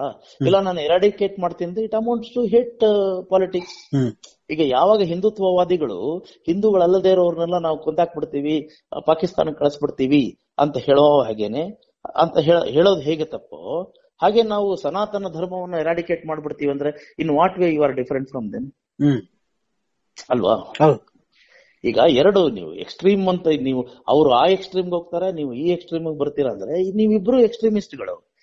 ನಿಮ್ಮನ್ನು ನಾವು ಇದಕ್ಕೆ ಎರಾಡಿಕೇಟ್ ಮಾಡ್ಬೇಕಾಗತ್ತೆ. ಅಂದ್ರೆ ನಿಮ್ಮನ್ನ ಅಂತಂದ್ರೆ ಆ ಒಂದು ಭಾವನೆಯನ್ನ ನಾವು ಕೂಡ ಎರಾಡಿಕೇಟ್ ಅನ್ನುವಂತ ಪದವನ್ನು ನಾವು ಕೂಡ ಉಪಯೋಗಿಸೋ ಹಾಗಿಲ್ಲ ಅಂದ್ರೆ ಅಂದ್ರೆ ಅಂದ್ರೆ ಜನರ ಭಾವನೆಗಳ ಜೊತೆ ಆಟ ಆಡ್ತಾ ರಾಜಕೀಯ ಮಾಡ್ತಾ ಧರ್ಮದ ವಿಷಯಗಳನ್ನ ಉದ್ದೀಪನವಾಗಿ ಬಳಸ್ಕೊಂಡು ತಮ್ಮ ರಾಜಕೀಯ ಬೆಳೆಗಳನ್ನ ಬೇಯಿಸ್ಕೊಳ್ಳೋಕೆ ಪ್ರಯತ್ನ ಮಾಡ್ತಾ ಇದ್ದಾರೆ. ಎರಡು ಧರ್ಮ ಎರಡು ಕಮ್ಯುನಲ್ ಅಜೆಂಡಾನೆ. ಒಬ್ರು ಏನ್ ಹೇಳ್ತಾರೆ? ಹಿಂದೂ ಧರ್ಮ ಅಂತ ಹೇಳ್ತಾರೆ. ಓ ಹಿಂದೂ ಧರ್ಮ ಅಲ್ಲ. ಅದು ಅಂದ್ರೆ ಎರಡು ಧರ್ಮದ ರಾಜಕೀಯನೇ ಅಲ್ವೇ? ಧರ್ಮದಿಂದ ಅತೀತವಾದಂತ ರಾಜಕೀಯ ಮಾಡಿ. ಹ್ಮ್. ಈಗ ಫಾರ್ ಎಕ್ಸಾಂಪಲ್ ಇವರು ಈ ನೆಹರು ವಿಚಾರ ಇನ್ನೊಂದ್ಸರಿ ಮತ್ತೆ ಜ್ಞಾಪಕ ಬರ್ತಾ ಇದೆ. ಈಗ ಇಲ್ಲಿ ಈ ದೇಶವನ್ನ ಸೆಕ್ಯುಲರ್ ದೇಶ ಅಂತ ಹೇಳ್ತಾರೆ. ಆಮೇಲೆ ಇದು ಕಾನ್ಸ್ಟಿಟ್ಯೂಷನ್ ಪ್ರಿಯಾಂಬಲ್ನಲ್ಲಿ ಸೆಕ್ಯುಲರ್ ಅಂತ India is a secular country ಅಂತ ಮಾಡಿದ್ದಾರೆ. ಯಾವಾಗ ಅದು ಮಾಡಿದ್ದು? ನೈನ್ಟೀನ್ ಸೆವೆಂಟೀಸ್ ಅಲ್ಲಿ. ಮೊದಲನೇ ಸಾರಿ ಇದು ಕಾನ್ಸ್ಟಿಟ್ಯೂಷನ್ ಸಂವಿಧಾನವನ್ನು ಬರೆದಾಗ ಕಾನ್ಸ್ಟಿಟ್ಯೂಂಟ್ ಅಸೆಂಬ್ಲಿನಲ್ಲಿ ಇದ್ರ ಬಗ್ಗೆ ಚರ್ಚೆ ಆಗತ್ತೆ. ಏನಂತಂದ್ರೆ ಪ್ರಿಯಾಂಬಲ್ನಲ್ಲಿ ಏನಿರ್ಬೇಕು? ಅಂದ್ರೆ ಈ ಕಾನ್ಸ್ಟಿಟ್ಯೂಷನ್ ಪ್ರಿಯಾಂಬಲ್ನಲ್ಲಿ ಏನಿರ್ಬೇಕು ಅನ್ನೋದ್ರ ಬಗ್ಗೆ ಚರ್ಚೆ ಆಗುತ್ತೆ. ಅವಾಗ ಕೆಲವರು ಹೇಳ್ತಾರೆ India is a secular country ಅಂತ ಹೇಳಿ ಅಂತ. ಅವಾಗ ನೆಹರು ಅವರು ಒಂದು ಮಾತು ಹೇಳ್ತಾರೆ. ನೆಹರು ಬಂದು ಅವ್ರು ಏನ್ ಗೊತ್ತಾ? ಗಾಂಧೀಜಿ ತರ ಅಲ್ಲ. ಗಾಂಧೀಜಿ ಬಂದು ಒಂದು ಧಾರ್ಮಿಕವಾದಿ ಅಂದ್ರೆ ಹಿಂದೂ ಧರ್ಮೀಯ ಆ ಮನುಷ್ಯ. ಅಂದ್ರೆ ಭಗವದ್ಗೀತೆಯನ್ನು ಇಟ್ಕೊಂಡು ಭಗವದ್ಗೀತೆನೆ ಒಂದು ರೀತಿನಲ್ಲಿ ಪರಮ ಪವಿತ್ರ ಅಂತ ಹೇಳ್ತಾ ರಾಮನಾಮ ಜಪ ಮಾಡ್ತಾ ಈ ಭಾರತೀಯ ರಾಜಕೀಯಕ್ಕೆ ರಾಮನನ್ನ ಮೊದಲನೇದಾಗಿ ಪರಿಚಯ ಮಾಡಿಕೊಟ್ಟಂತ ವ್ಯಕ್ತಿ ಯಾರು ಗಾಂಧೀಜಿ. ಅವರು ಸಹ ಇದು ಅವರು ಪ್ರಾರ್ಥನಾ ಸಭೆಗಳನ್ನು ನಡೆಸೋದೇನು? ಆ ಪ್ರಾರ್ಥನಾ ಸಭೆಗಳು ನಡೆಸಿ ಆ ಮೂಲಕ ಜನಗಳನ್ನ ರೀಚ್ ಆಗ್ತಾ ಇದ್ದಾರೆ ಅಂತಂದ್ರೆ ಅದು ಧರ್ಮದ ಒಂದು ಒಂದು ಏನೋ ಒಂದು ಅಂಡರ್ ಕರೆಂಟ್ ಅವರಲ್ಲಿ ಇರ್ತಾ ಇತ್ತು. ಆದ್ರೆ ನೆಹರು ಹಾಗಲ್ಲ. ಈಸ್ ಅನ್ ಅಗ್ನಾಸ್ಟ್ ಅಂದ್ರೆ ಈಸ್ ಅನ್ ಎಥಿಸ್ಟ್ ಅಂದ್ರೆ ಅವ್ರು ನಾಸ್ತಿಕರಾಗಿದ್ರು. ದೇವರನ್ನ ನಂಬ್ತಾ ಇರ್ಲಿಲ್ಲ. ಅಂದ್ರೆ ಆ ಈ ಧಾರ್ಮಿಕ ಪದ್ಧತಿಗಳನ್ನ ಯಾವ್ದನ್ನು ಅವ್ರು ಫಾಲೋ ಮಾಡ್ತಾ ಇರ್ಲಿಲ್ಲ. ಅಂತವ್ರು ಏನ್ ಹೇಳ್ತಾರೆ ಅಂತಂದ್ರೆ ನೋಡಿ ನಾವು ಸೆಕ್ಯುಲರ್ ಅಂತ ನಾವು ಪ್ರಿಯಾಂಬಲ್ನಲ್ಲಿ ಸೇರಿಸೋ ಅವಶ್ಯಕತೆ ಇಲ್ಲ. ವಿ ಶುಡ್ ನಾಟ್ ಡಿಕ್ಲೇರ್ ಏನು India as a secular country ಯಾಕೆ ಅಂದ್ರೆ ಸೆಕ್ಯುಲರಿಸಂ ಅನ್ನೋದು ಒಂದು ಸಹಜವಾಗಿರ್ಬೇಕು. ಸೆಕ್ಯುಲರ್ ಅಂದ್ರೆ ಏನಂದ್ರೆ ಧರ್ಮಾತೀತ. ಅಂದ್ರೆ ಧರ್ಮ ನಿರಪೇಕ್ಷಿತ. ಅಂದ್ರೆ ಜಾತಿಗೆ ಅತೀತವಾಗಿರುವಂತದ್ದು ಅದು ಇರ್ಬೇಕಾಗಿದೆ ಅದು ಸಹಜವಾಗಿ ಇರಕ್ ಬಿಡಿ. ಅಂದ್ರೆ ಅದ್ರ ಸೆಕ್ಯುಲರ್ ಅಂತಂದ್ರೆ ಹಾಲ್ ಮಾರ್ಕ್ ಆಫ್ ಸೆಕ್ಯುಲರಿಸಂ ಅಂದ್ರೆ ಇವತ್ತಿನ ಇವತ್ತಿನ ನೀವೇನು ಹೇಳ್ತಾ ಇದ್ದಲ್ಲ ಇವತ್ತಿನ ಇಡೀ ಪಾಲಿಟಿಕ್ಸ್ ಈ ಒಂದು ಹೇಳಿಕೆ ಮೇಲೆ ಆಧಾರವಾಗಿ ಇಟ್ಕೊಳ್ಳೋದಾದ್ರೆ ಅಂದ್ರೆ ಅದನ್ನ ನೀವು ಸಾಂಕೇತಿಕವಾಗಿ ನೋಡೋದಾದ್ರೆ ಹಾಗಾದ್ರೆ ಈಗ ಇಲ್ಲಿ ಸನಾತನ ಧರ್ಮ ಮತ್ತೆ ಇವ್ ಯಾವ ಹೇಳಿಕೆಗಳು ಅಪ್ರಸ್ತುತ ಮತ್ತು ಅನಗತ್ಯ? ಅದೇ ನಾನು ಹೇಳ್ತಾ ಇದ್ದೀನಿ. ಅವ್ರು ಏನ್ ಹೇಳ್ತಾರೆ ಅಂದ್ರೆ ನೋಡಿ ಈಗ ಸೆಕ್ಯುಲರ್ ಅಂತಂದ್ರೆ ಇಟ್ ಶುಡ್ ಬಿ ಲಿಬರಲ್ ಅಂದ್ರೆ ಒಂದು ಹೇಗಿರ್ಬೇಕು ಅಂತಂದ್ರೆ ದಿ ಸೆಕ್ಯುಲರ್ ಅಂತಂದ್ರೆ ಎಲ್ಲವನ್ನೂ ಅಕಾಮಡೇಟ್ ಮಾಡುವಂತದ್ದು ಅಂದ್ರೆ ಧರ್ಮವನ್ನ ನಿರಪೇಕ್ಷಿತ ನಿರಪೇಕ್ಷಿತನಾಗಿ ಮಾಡ್ತಿರಂತಂದ್ರೆ ಅಂದ್ರೆ ಇಲ್ಲಿ ಈಗ ಈ ನಮ್ ದೇಶದಲ್ಲಿ ಧರ್ಮವನ್ನ ಅಂದ್ರೆ ಪಾಲಿಸೋರಿದ್ದಾರೆ. ಧರ್ಮವನ್ನ ಧಿಕ್ಕರಿಸುವವರಿದ್ದಾರೆ. ದೇವರನ್ನ ನಂಬುವವರಿದ್ದಾರೆ. ದೇವರನ್ನ ನಂಬದೇ ಇರೋರಿದ್ದಾರೆ. ಅವ್ರ ಅಷ್ಟು ಜನಕ್ಕೆ ಈಕ್ವಲ್ ಆದಂತ ಅವಕಾಶ ಇರಬೇಕು. ಅಂದ್ರೆ ಅಕಾಮಡೇಷನ್ ಅಕಾಮಡೇಟ್ ಮಾಡೋಂಗಿರ್ಬೇಕು ಅದು ಇದು ಸೆಕ್ಯುಲರ್ ಅಂತ ಆಗುತ್ತೆ. ಈಗ ನೀವು ಸೆಕ್ಯುಲರ್ ಅಂತ ಹೇಳ್ಬಿಟ್ಟು ಇಲ್ಲ ಧರ್ಮವನ್ನ ನಾವು ಇದು ಪಾಲಿಸದೆ ಪಾಲಿಸದೇ ಇರೋದೇ ನಿಯಮ ಅನ್ನೋದಾದ್ರೆ ಧರ್ಮವನ್ನ ಪಾಲಿಸೋರು ಏನ ಮಾಡ್ಬೇಕು? ಹಾಗಾದ್ರೆ ಅವ್ರು ಹೊರತಾಗ್ತಾರೆ ಇದಕ್ಕೆ. ಈ ತರದೊಂದು ಭಯದ ಭಾವ ಇರಬಾರದು. ಎಲ್ಲರೂ ಈಗ ನೀವು if you are secular you should be accommodative of those who follow religion ಅಂತ. ಅಂದ್ರೆ. ರಿಲಿಜಿಯಸ್ ಆಗಿರೋರ್ನು ಕೂಡ ನೀವು ಅಕಾಮಿಡೇಟ್ ಮಾಡಬೇಕು. ಅಂದ್ರೆ ಓವರ್ ಆಲ್ ಇದು ಇನ್ಕ್ಲೂಸಿವ್ ಪಾಲಿಸಿ ಆ ಇನ್ಕ್ಲೂಸಿವ್ ಅಂದ್ರೆ ರಿಯಲ್ ಅಂದ್ರೆ ಇನ್ ರಿಯಲ್ ಸೆನ್ಸ್ ಯುವರ್ ಏನು your policy your polity and your ಏನು administration. And your society and your nation. Should be inclusive ಅಂತ. ಅದಕ್ಕೋಸ್ಕರ ಅವರು ಸೆಕ್ಯುಲರ್ ಅಂತ ಹಾಕಕ್ ಬಿಟ್ಟಿರ್ಲಿಲ್ಲ ಅವರು. ಯಾಕಂದ್ರೆ ಸೆಕ್ಯುಲರ್ ಆಗಿರ್ಬೇಕದು. ಆದ್ರೆ ಅದೇ ಸೆಕ್ಯುಲರ್ ಅಂತ ಹೇಳ್ಬಿಟ್ರೆ ಏನಾಗುತ್ತೆ? ಇಲ್ಲಿ ನೀವು ಏನಂತಂದ್ರೆ ಇದು ಧರ್ಮವನ್ನ ಯಾರು ಪಾಲಿಸ್ತಾ ಇಲ್ವೋ ಅವ್ರಿಗೆ ಅವ್ರದ್ ಮಾತ್ರ ಈ ದೇಶ ಅಂತ ಆಗ್ಬಿಡುತ್ತೆ. ಅಂದ್ರೆ ನಿಜವಾದ ಎಷ್ಟು ವಿಶಾಲವಾಗಿ ಎಷ್ಟು ಉದಾತ್ತವಾಗಿದೆ ಅದು. ಈಗ ಇವ್ರೇನ್ ಮಾಡ್ತಾರ ನೆಕ್ಸ್ಟ್ ಅದು ನೈನ್ಟೀನ್ ಸೆವೆಂಟಿ ಟೂ ನಲ್ಲಿ ಅಂತ ಕಾಣುತ್ತೆ. ಅದು ಅಮೆಂಡ್ ಮಾಡ್ಬಿಟ್ಟು ಸೆಕ್ಯುಲರ್ ಅಂತ ತಗೊಂಡ್ ಬರ್ತಾರೆ ಅಲ್ಲಿ. ಅಲ್ಲಿ ಯಾವಾಗ್ಲಿಂದಾನೇ ಸ್ಟಾರ್ಟ್ ಆಗಿದ್ದದು. ಏನಂತಂದ್ರೆ ಓ ಸೆಕ್ಯುಲರ್ ಅಂತಂದ್ರೆ ಎಲ್ಲರೂ ಇದು ಸಮಾನ. ಏ ಸಮಾನ ಇಲ್ದೆ ಇರುವಾಗ ತಾನೆ ಸಮಾನತೆ ಮಾತಾಡ್ಬೇಕು? ಇಲ್ಲಿ ಅಲ್ಪಸಂಖ್ಯಾತರಿಗೆ ನಾವು ರಕ್ಷಣೆ ಕೊಡ್ತೀವಿ. ಆ ಅಂದ್ರೆ ರಕ್ಷಣೆ ಇಲ್ಲ ಅನ್ನೋ ತರದ್ ಒಂದಾಗತ್ತದು ರಕ್ಷಣೆ ನೀವು ಕೊಟ್ಟಿರ್ಬೇಕಲ್ಲಿ. ರಕ್ಷಣೆ ಇರ್ಬೇಕು. ಅದು ಅಲ್ಲಿ ಏನಾಯ್ತು? ಅವಾಗ ಏನಾಗುತ್ತೋ? ಅಲ್ಪಸಂಖ್ಯಾತರಿಗೆ ರಕ್ಷಣೆ ಅಂದ್ರೆ ರಕ್ಷಣೆ ಅಂತಂದ್ರೆ ಅಲ್ಲಿ ರಾಜಕೀಯವಾಗಿ ಇದ್ ಮಾಡುವಾಗ ಅದನ್ನ ಅಪೀಸ್ಮೆಂಟ್ ಅಂತ ಇನ್ನೊಬ್ರು ಹೇಳೋದು ಸ್ಟಾರ್ಟ್ ಆಯ್ತು. ಅಂದ್ರೆ ನೀವು ತುಷ್ಟೀಕರಣದ ರಾಜಕೀಯ ಮಾಡ್ತಾ ಇದ್ದೀರಾ? ಅಂದ್ರೆ ಅಲ್ಲಿ ಇವಾಗ ಬಿಜೆಪಿ ಅಂತ ಜನಸಂಘದಂತವರಿಗೆ ಅವ್ರಿಗೆ ಹಿಂದುತ್ವವನ್ನು ಮುನ್ನೆಲೆಗೆ ತರೋದಕ್ಕೆ ಒಂದು ಅವಕಾಶ ಆಯ್ತು ಅಲ್ಲಿ ಅಷ್ಟೇನೆ. ಸೊ ಹೀಗಾಗಿ ಇಲ್ಲಿ ಒಂದು ಕಮ್ಯುನಲ್ ಪಾಲಿಟಿಕ್ಸ್ ಅನ್ನೋದು ಇದು ಯಾರು ಕಮ್ಯುನಲ್ ಕಮ್ಯುನಲ್ ಅಂತ ಇನ್ನೊಬ್ಬರನ್ನ ದೂಷಿಸ್ತಾ ಇದ್ದಾರೋ ಅವರಿಂದಾನೇ ಬಂದಿದೆ ಅದು.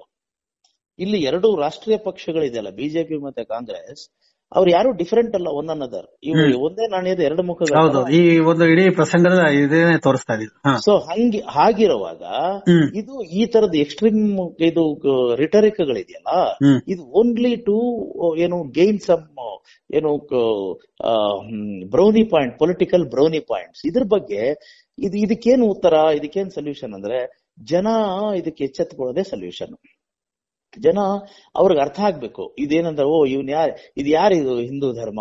ಹಿಂದೂ ಧರ್ಮ ಅನ್ನೋದು ಇದ್ರೆ, ಧರ್ಮ ಅನ್ನೋದು ಹಿಂದೂ ಧರ್ಮ ಅನ್ನೋದು ಒಂದು ಇದ್ರೆ, ಅದು ರಕ್ಷಣೆ ಆಗೋದು ಎಲ್ಲಿ ಅಂದ್ರೆ ಮನೆಗಳಲ್ಲಿ. ನಿಮ್ಮ ಮನೆಯಲ್ಲಿ ನೀವು ಏನು ಆಚಾರ, ವಿಚಾರ, ವ್ಯವಹಾರ, ಸಂಸ್ಕೃತಿ ಕಾಪಾಡ್ಕೊಂಡಿರ್ತೀರಲ್ಲ? ಈಗ ನಿಮ್ಮ ಇದು ಮನೆಯಲ್ಲಿ ಹೆಣ್ಮಕ್ಳು ಪೂಜೆ ಮಾಡ್ತಾರೆ, ಗಂಡಸರು ಪೂಜೆ ಮಾಡ್ತಾರೆ, ಭಜನೆ ಮಾಡ್ತಾರೆ, ಆಮೇಲೆ ಇನ್ನೂ ಏನೋ ಇದು ಒಂದು ಒಂದು ಫೆಮಿಲಿಯಲ್ ಆದಂತ ಒಂದು ಅಟ್ಮಾಸ್ಫಿಯರ್ ಇಟ್ಕೊಂಡಿರ್ತಾರೆ. ಅಲ್ಲಿ ಧರ್ಮ ಸಂಸ್ಕೃತಿ ಉಳಿಯುತ್ತೆ. ಬಿಜೆಪಿಯಿಂದ ಅಲ್ಲ ಅದು. ಅದೇ ತರಹ ನೀವು ಒಬ್ಬ ಲಿಬರಲ್ ಆಗಿರ್ಬೇಕು, ಸಮಾನತೆಯನ್ನು ತರಬೇಕು ಅನ್ನೋದಾದ್ರೆ, ಈಗ ನೋಡಿ ಫಾರ್ ಎಕ್ಸಾಂಪಲ್ ಈಗ ಬ್ರಾಹ್ಮಣ ಮತ್ತೆ ದಲಿತರು ಅಂತಿದ್ದಾರೆ. ಅವ್ರಿಗೆ ಇವಾಗ ಬ್ರಾಹ್ಮಣನು ಮನುಷ್ಯನೇ, ದಲಿತನು ಮನುಷ್ಯನಾಗಿರುವಾಗ ದಲಿತನಷ್ಟೇ, ಬ್ರಾಹ್ಮಣನಷ್ಟೇ ದಲಿತನಿಗೂ ಕೂಡ ಒಂದು ಅವಕಾಶ ಸಿಗ್ಬೇಕು ಅನ್ನೋದಾದ್ರೆ, ಅದು ಸಿಗ್ಬೇಕು ಅನ್ನೋದಾದ್ರೆ ನಿಮ್ಗೆ ಜನತಂತ್ರದಿಂದ ಸಿಗತ್ತೆ ಅದು. ನಿಮ್ ಸಂವಿಧಾನದಿಂದ ಸಿಗತ್ತೆ. ಅದನ್ನ ಬಲಿಷ್ಠಪಡಿಸ್ಬೇಕಲ್ಲ ನಾವು. ಈಗ ಫಾರ್ ಎಕ್ಸಾಂಪಲ್ ಎಲ್ಲರಿಗೂ ಸಮಾನವಾದಂತಹ ಶಿಕ್ಷಣ ಎಲ್ರಿಗೂ ಉಚಿತವಾದಂತಹ ಶಿಕ್ಷಣ ಕೊಡಿ. ಅವಾಗ ಸಮಾನತೆ ತಾನಾಗ್ ಬರುತ್ತಲ್ಲ. ಈಗ ಯಾರು ಇವಾಗ ಸನಾತನ ಧರ್ಮವನ್ನ ಎರಾಡಿಕೇಟ್ ಮಾಡ್ತೀನಿ ಅನ್ನೋರು ಸಮಾನವಾದ ಶಿಕ್ಷಣ ಕೊಡ್ತೀನಿ ಅಂತ ಯಾಕೆ ಹೇಳೋದಿಲ್ಲ? ಎಸ್ ಈಗ ತಾವು ಈಗ ಹೇಳಿ, ಹೇಳಿದ ಮಾತನ್ನ ಇವತ್ತು ಇವತ್ತು ಅರವಿಂದ್ ಕೇಜ್ರಿವಾಲ್ ಅವರು ಹೇಳಿದ್ದಾರೆ ಏನು ಒಂದ್ ಒನ್ ನೇಷನ್ ಒನ್ ಎಲೆಕ್ಷನ್ ಅನ್ನು ಮಾತಾಡೋ ಬದಲು ನೀವು one nation one one education one nation one health ಅಂತ ಮಾತಾಡಿ ಈ ಒನ್ ರಿಲಿಜನ್ ಇದ್ರ ಬಗ್ಗೆ ಮಾತನಾಡಬೇಡಿ ಅಂತ ಹೇಳಿ ಇವತ್ತು ಅರವಿಂದ್ ಕೇಜ್ರಿವಾಲ್ ಹೇಳಿದ್ದಾರೆ. ಅಂದ್ರೆ ಎಲ್ಲೋ ಮಾತನಾಡ್ಬೇಕಾದ್ರೆ ಮಾತನಾಡದ್ ಬಿಟ್ಟು ಮಾತನಾಡಬಾರ್ದ ಮಾತಾಡಕ್ ಹೊರಟಾಗಿ ಈ ತರ ಆಗುತ್ತೆ. ಅರವಿಂದ್ ಕೇಜ್ರಿವಾಲ್ ಮಾತಾಡ್ಲಿ ಸಂತೋಷ. ಆದ್ರೆ ಇದನ್ನ ಜನ ಮಾತಾಡೋ ಹಾಗಾಗ್ಬೇಕು. ಜನ ಕೇಳಿ ತಗೊಳ್ಳೋಂಗಾಗ್ಬೇಕು. ಜನ ಡಿಮಾಂಡ್ ಮಾಡೋಂಗಾಗ್ಬೇಕು. ನೋಡಿ ನಿಮ್ದು ಇದೆಲ್ಲ ಏನಂತಂದ್ರೆ ನಿಮ್ಮ ಧರ್ಮದ ಅಫೀಮು ನಮಗ್ ಬೇಕಾಗಿಲ್ಲ. ನಿಮ್ಮ ಸೆಕ್ಯುಲರಿಸಂ ನ ಅಫೀಮು ನಮಗ್ ಬೇಕಾಗಿಲ್ಲ. ಆಮೇಲೆ ನಿಮ್ಮ ಸೂಡೋ ಸೆಕ್ಯುಲರಿಸಂ ಸೂಡೋ ನ್ಯಾಷನಲಿಸಂ ಎರಡು ನಮಗ್ ಬೇಕಾಗಿಲ್ಲ. ನಮಗ್ ಬೇಕಾಗಿರೋದು ನಿಜವಾದ ನೈಜ ಸಮಾನತೆ. ನೈಜ ಸಮಾನತೆ ಹೇಗ್ ಸಿಗುತ್ತೆ ಅಂದ್ರೆ ನಿಜವಾದಂತ ಶಿಕ್ಷಣದ ಮೂಲಕ ಶಿಕ್ಷಣ ಸಮಾನ ಶಿಕ್ಷಣವನ್ನು ಕೊಟ್ಟಾಗ ಎಲ್ರಿಗೂ ಉಚಿತ ಈಗ ಏನು ಸಮಾನ ಶಿಕ್ಷಣ ಯಾವಾಗ ಸಿಗತ್ತೆ ಅಂತಂದ್ರೆ ಈಗ ಸಮಾನ ಸಮಾನ ಶಿಕ್ಷಣ ಇಲ್ವಾ ಅಂದ್ರೆ ಖಂಡಿತ ಇಲ್ಲ. ಯಾಕೆ ಅಂತಂದ್ರೆ ಇವ್ರು ಏನ್ ಮಾಡಿದ್ದಾರೆ ಒಂದು ವರ್ಚುವಲ್ ಆದಂತಹ ಇನ್ವಿಸಿಬಲ್ ಬ್ಯಾರಿಯರ್ ಗಳನ್ನ ಎತ್ತಿ ಬೇಲಿಗಳನ್ನ ಹಾಕಿ ಬಿಟ್ಬಿಟ್ಟಿದ್ದಾರೆ. ಏನಂತಂದ್ರೆ ಯಾವ್ದದು ಬೇರಿಯರ್ ಅಂದ್ರೆ ಎಕನಾಮಿಕ್ ಬ್ಯಾರಿಯರ್ ಎಕನಾಮಿಕ್ ಬ್ಯಾರಿಯರ್ ಅಂದ್ರೇನು ಉಳ್ಳವರಿಗೆ ಮಾತ್ರ ಒಳ್ಳೆ ಶಿಕ್ಷಣ. ಇಲ್ಲದವರಿಗೆ ಶಿಕ್ಷಣವೇ ಇಲ್ಲ ಅಥವಾ ಕೆಟ್ಟ ಶಿಕ್ಷಣ. ನಿಮ್ಗೆ ಕಳಪೆ ಶಿಕ್ಷಣ ಸಿಗೋದು ಒಂದೇ ಶಿಕ್ಷಣ ಸಿಗದೇ ಇರೋದು. ಒಂದೇ. ಹಾ ಸೊ ಈಗ ನಿಮ್ಗೆ ಉಳ್ಳವರಿಗೆ ದುಡ್ಡಿರೋರು ಈ ಶಿಕ್ಷಣವನ್ನ ಖರೀದಿಸಬಹುದು. ಇಲ್ದೇ ಇರೋರಿಗಿಲ್ಲ. ಈಗಾಗಾದ್ರೆ ಎಲ್ಲಿ ಈ ಸಮಾನತೆ ಬಂತು? ಇದನ್ನ ಸ್ಮ್ಯಾಶ್ ಮಾಡ್ಬೇಕಾಗಿದೆ. ಇವ್ರೇನಾದ್ರೂ ಎರಾಡಿಕೇಟ್ ಮಾಡ್ಬೇಕಾಗಿದ್ರೆ. ಈ ಅಸಮಾನತೆಯನ್ನ ಎರಾಡಿಕೇಟ್ ಮಾಡ್ಲಿ. ಎಸ್ ಅಂದ್ರೆ ಯಾವ್ದ್ರ ಮೂಲಕ ಅಂತಂದ್ರೆ ಎಲ್ಲರಿಗೂ ಒಂದೇ ತರದ ಶಿಕ್ಷಣ ಎಲ್ಲರಿಗೂ ಉಚಿತ ಶಿಕ್ಷಣ ಕೊಟ್ರೆ ಆ ಪ್ರವೇಶ ನಿಷೇಧ ಅನ್ನೋದು ಇರೋದಿಲ್ಲ. ಈಗ ಶಿಕ್ಷಣವನ್ನ ಶಿಕ್ಷಣದ ಸಂಸ್ಥೆಗಳಿಗೆ ಪ್ರವೇಶವನ್ನ ನಿಷೇಧ ಮಾಡಿದ್ದಾರೆ ಬಡವರಿಗೆ. ಯಾವ ಇದು ನಾವು ದೇವಸ್ಥಾನಗಳ ಪ್ರವೇಶಗಳನ್ನ ಪ್ರವೇಶವನ್ನ ನಿಷೇಧ ಮಾಡಿದಾರಲ್ಲ ಏನು ಇದು ಕೀಳು ಜನ ಜಾತಿಯವರಿಗೆ ಅಂತ. ಅದೇ ತರ ಇವಾಗ ಏನಂತಂದ್ರೆ ದೇವಸ್ಥಾನಗಳಿಗೆ ಎಲ್ಲರೂ ಹೋಗ್ತಾ ಇದ್ದಾರೆ ಬರ್ತಾ ಇದ್ದಾರೆ ಆಯ್ತು ಸಂತೋಷ. ಆದರೆ ನಿಮ್ಗೆ ಶಿಕ್ಷಣ ಸಂಸ್ಥೆಗಳಿದೆಯಲ್ಲ ಎಲ್ಲಾ ದೇವಸ್ಥಾನಗಳಿಗಿಂತ ದೊಡ್ಡ ದೇವಸ್ಥಾನ ಅದು. ಅಲ್ಲಿಗೆ ಎಲ್ಲರಿಗೂ ಪ್ರವೇಶ ಸಿಗ್ಬೇಕಲ್ಲ? ಎಲ್ರಿಗೂ ಪ್ರವೇಶ ಇದೆಯಾ? ಎಲ್ಲಿದೆ ಎಲ್ಲಿದೆ? ದುಡ್ಡಿದ್ದವ್ರಿಗೆ ದುಡ್ಡಿದ್ದವ್ರಿಗೆ ಮಾತ್ರ ಪ್ರವೇಶ. ದುಡ್ಡಿದ್ದವ್ರಿಗೆ ಮಾತ್ರ ಗರ್ಭಗುಡಿಗೆ ಪ್ರವೇಶ. ಎರಡ್ ಕಡೆನೂ ಅಷ್ಟೇ. ಆ ಗರ್ಭಗುಡಿನೂ ಅಷ್ಟೇ ಈ ಶಿಕ್ಷಣ ಸಂಸ್ಥೆ ಗರ್ಭಗುಡಿಗೂ ಅಷ್ಟೇ. ಹೌದು ಗರ್ಭಗುಡಿ. ಅಂದ್ರೆ ಈಗ ನನಗೆ ನಮ್ ನಮ್ ಪ್ರಕಾರ ಶಿಕ್ಷಣ ಸಂಸ್ಥೆನೇ ಒಂದು ಗರ್ಭಗುಡಿ. ಶಾಲೆಯ ತರಗತಿನ ಗರ್ಭಗುಡಿ. ಆ ಗರ್ಭಗುಡಿಗೆ ಎಲ್ರಿಗೂ ಪ್ರವೇಶ ಇದೆಯಾ? ಇಲ್ಲ ಅಂತ ಆದ್ರೆ. ಈಗ ನಿಮ್ಗೆ ಕೆಲವರಿಗೆ ಗರ್ಭಗುಡಿಗೆ ಪ್ರವೇಶ ಇದೆ ಕೆಲವರಿಗೆ ದೇವಸ್ಥಾನದ ಪ್ರಕಾರ ಕೂಡ ಇಲ್ಲ ಪ್ರವೇಶ ಇಲ್ಲ. ಕೆಲವರಿಗೆ ದೇವಸ್ಥಾನದ ದೇವಸ್ಥಾನ ಇರುವಂತ ರಸ್ತೆಗೆ ಪ್ರವೇಶ ಇಲ್ಲ. ರಸ್ತೆಗೆ ಪ್ರವೇಶ ಇಲ್ಲ. ಹಂಗಿರುವಾಗ ಅಂದ್ರೆ ದುಡ್ಡಿದ್ರೆ ಇವಾಗ ನಿಮ್ಮ ಹತ್ರ ನೀವು if you are able to purchase ಏನು education you are allowed in to the ಸ್ಯಾಕ್ಟ್ರೋ sanctum ಅಂದ್ರೆ ಗರ್ಭಗುಡಿಗೆ ಪ್ರವೇಶ ಇದೆ. ಅಲ್ಲಿ ನಿಮ್ಗೆ ಅಲ್ಲಿ ನೈವೇದ್ಯನೂ ಮಾಡ್ಬೋದು ವಿದ್ಯೆನೂ ಕಲ್ತ್ಕೋಬಹುದು ಎಲ್ಲಾನು ಕಲ್ತ್ಕೋಬಹುದು. ಹಾಗಾದ್ರೆ ನಿಮಗ್ ಮಾತ್ರ ಆದಾಗ ಇನ್ನು ಈಗ ಅದು ಅಷ್ಟು ಅನುಕೂಲ ಎಷ್ಟ್ ಜನಕ್ಕಿದೆ ಅಂದ್ರೆ ಇಡೀ ದೇಶದ ಜನಸಂಖ್ಯೆಯ ಐದು ಪರ್ಸೆಂಟ್ ಹತ್ತು ಪರ್ಸೆಂಟ್ ಮಾತ್ರ ಇದೆ. ಇನ್ ತೊಂಬತ್ ಪರ್ಸೆಂಟ್ ವಂಚಿತರಾಗಿದ್ದಾರಲ್ಲ ಈ ಅಸಮಾನತೆ ಯಾವಾಗ ತೊಡೆದಾಕೋದು? ಈ ಅಸಮಾನತೆ ತೊಡೆದಾಕ್ಬೇಕಾಗಿದ್ರೆ ಎಲ್ರಿಗೂ ಈ ದೇ ಶಿಕ್ಷಣ ಅನ್ನೋ ದೇವಸ್ಥಾನಕ್ಕೆ ಎಲ್ರಿಗೂ ಸಮಾನವಾದಂತ ಪ್ರವೇಶ ಕಲ್ಪಿಸಬೇಕಾಗತ್ತೆ. ಎಲ್ರಿಗೂ ಸಮಾನ ಪ್ರ- ಪ್ರವೇಶ ಕಲ್ಪಿಸೋದು ಹೇಗೆ ಅಂದ್ರೆ ಉಚಿತ ಯಾರು ದುಡ್ಡು ಕೊಡ್ಬೇಕಾಗಿಲ್ಲ. ದುಡ್ಡು ಕೊಡಬೇಕು ಅನ್ನೋದಿದ್ದಾಗ ಮಾತ್ರನೇ ದುಡ್ಡು ಇರೋರ್ಗೆ ಅವಕಾಶ ಇಲ್ಲದೆ ಇರೋರ್ಗೆ ಇಲ್ಲ ಅಂತ ಆಗುತ್ತೆ ಅದು ಉಚಿತವಾದಂತ ಶಿಕ್ಷಣ ಮತ್ತೆ ಸಮಾನವಾದ ಶಿಕ್ಷಣ. ನಿಮ್ಗೊಂತರ ಶಿಕ್ಷಣ ನನ್ಗೊಂತರ ಶಿಕ್ಷಣ ಆದ್ರೆ ಅದು ಸಮಾನತೆ ಅಲ್ಲ ಅದು. ನೀವೇನೋ ಒಂಥರ ವಿದ್ಯೆ ಕಲ್ತ್ಕೊಳ್ತೀರ, ನಾನೊಂಥರ ವಿದ್ಯೆ ಕಲ್ತ್ಕೊಳ್ತೀನಿ ಅಂತಂದ್ರೆ, ಅಲ್ಲಿ ಏನಾಗುತ್ತೆ ಅದು?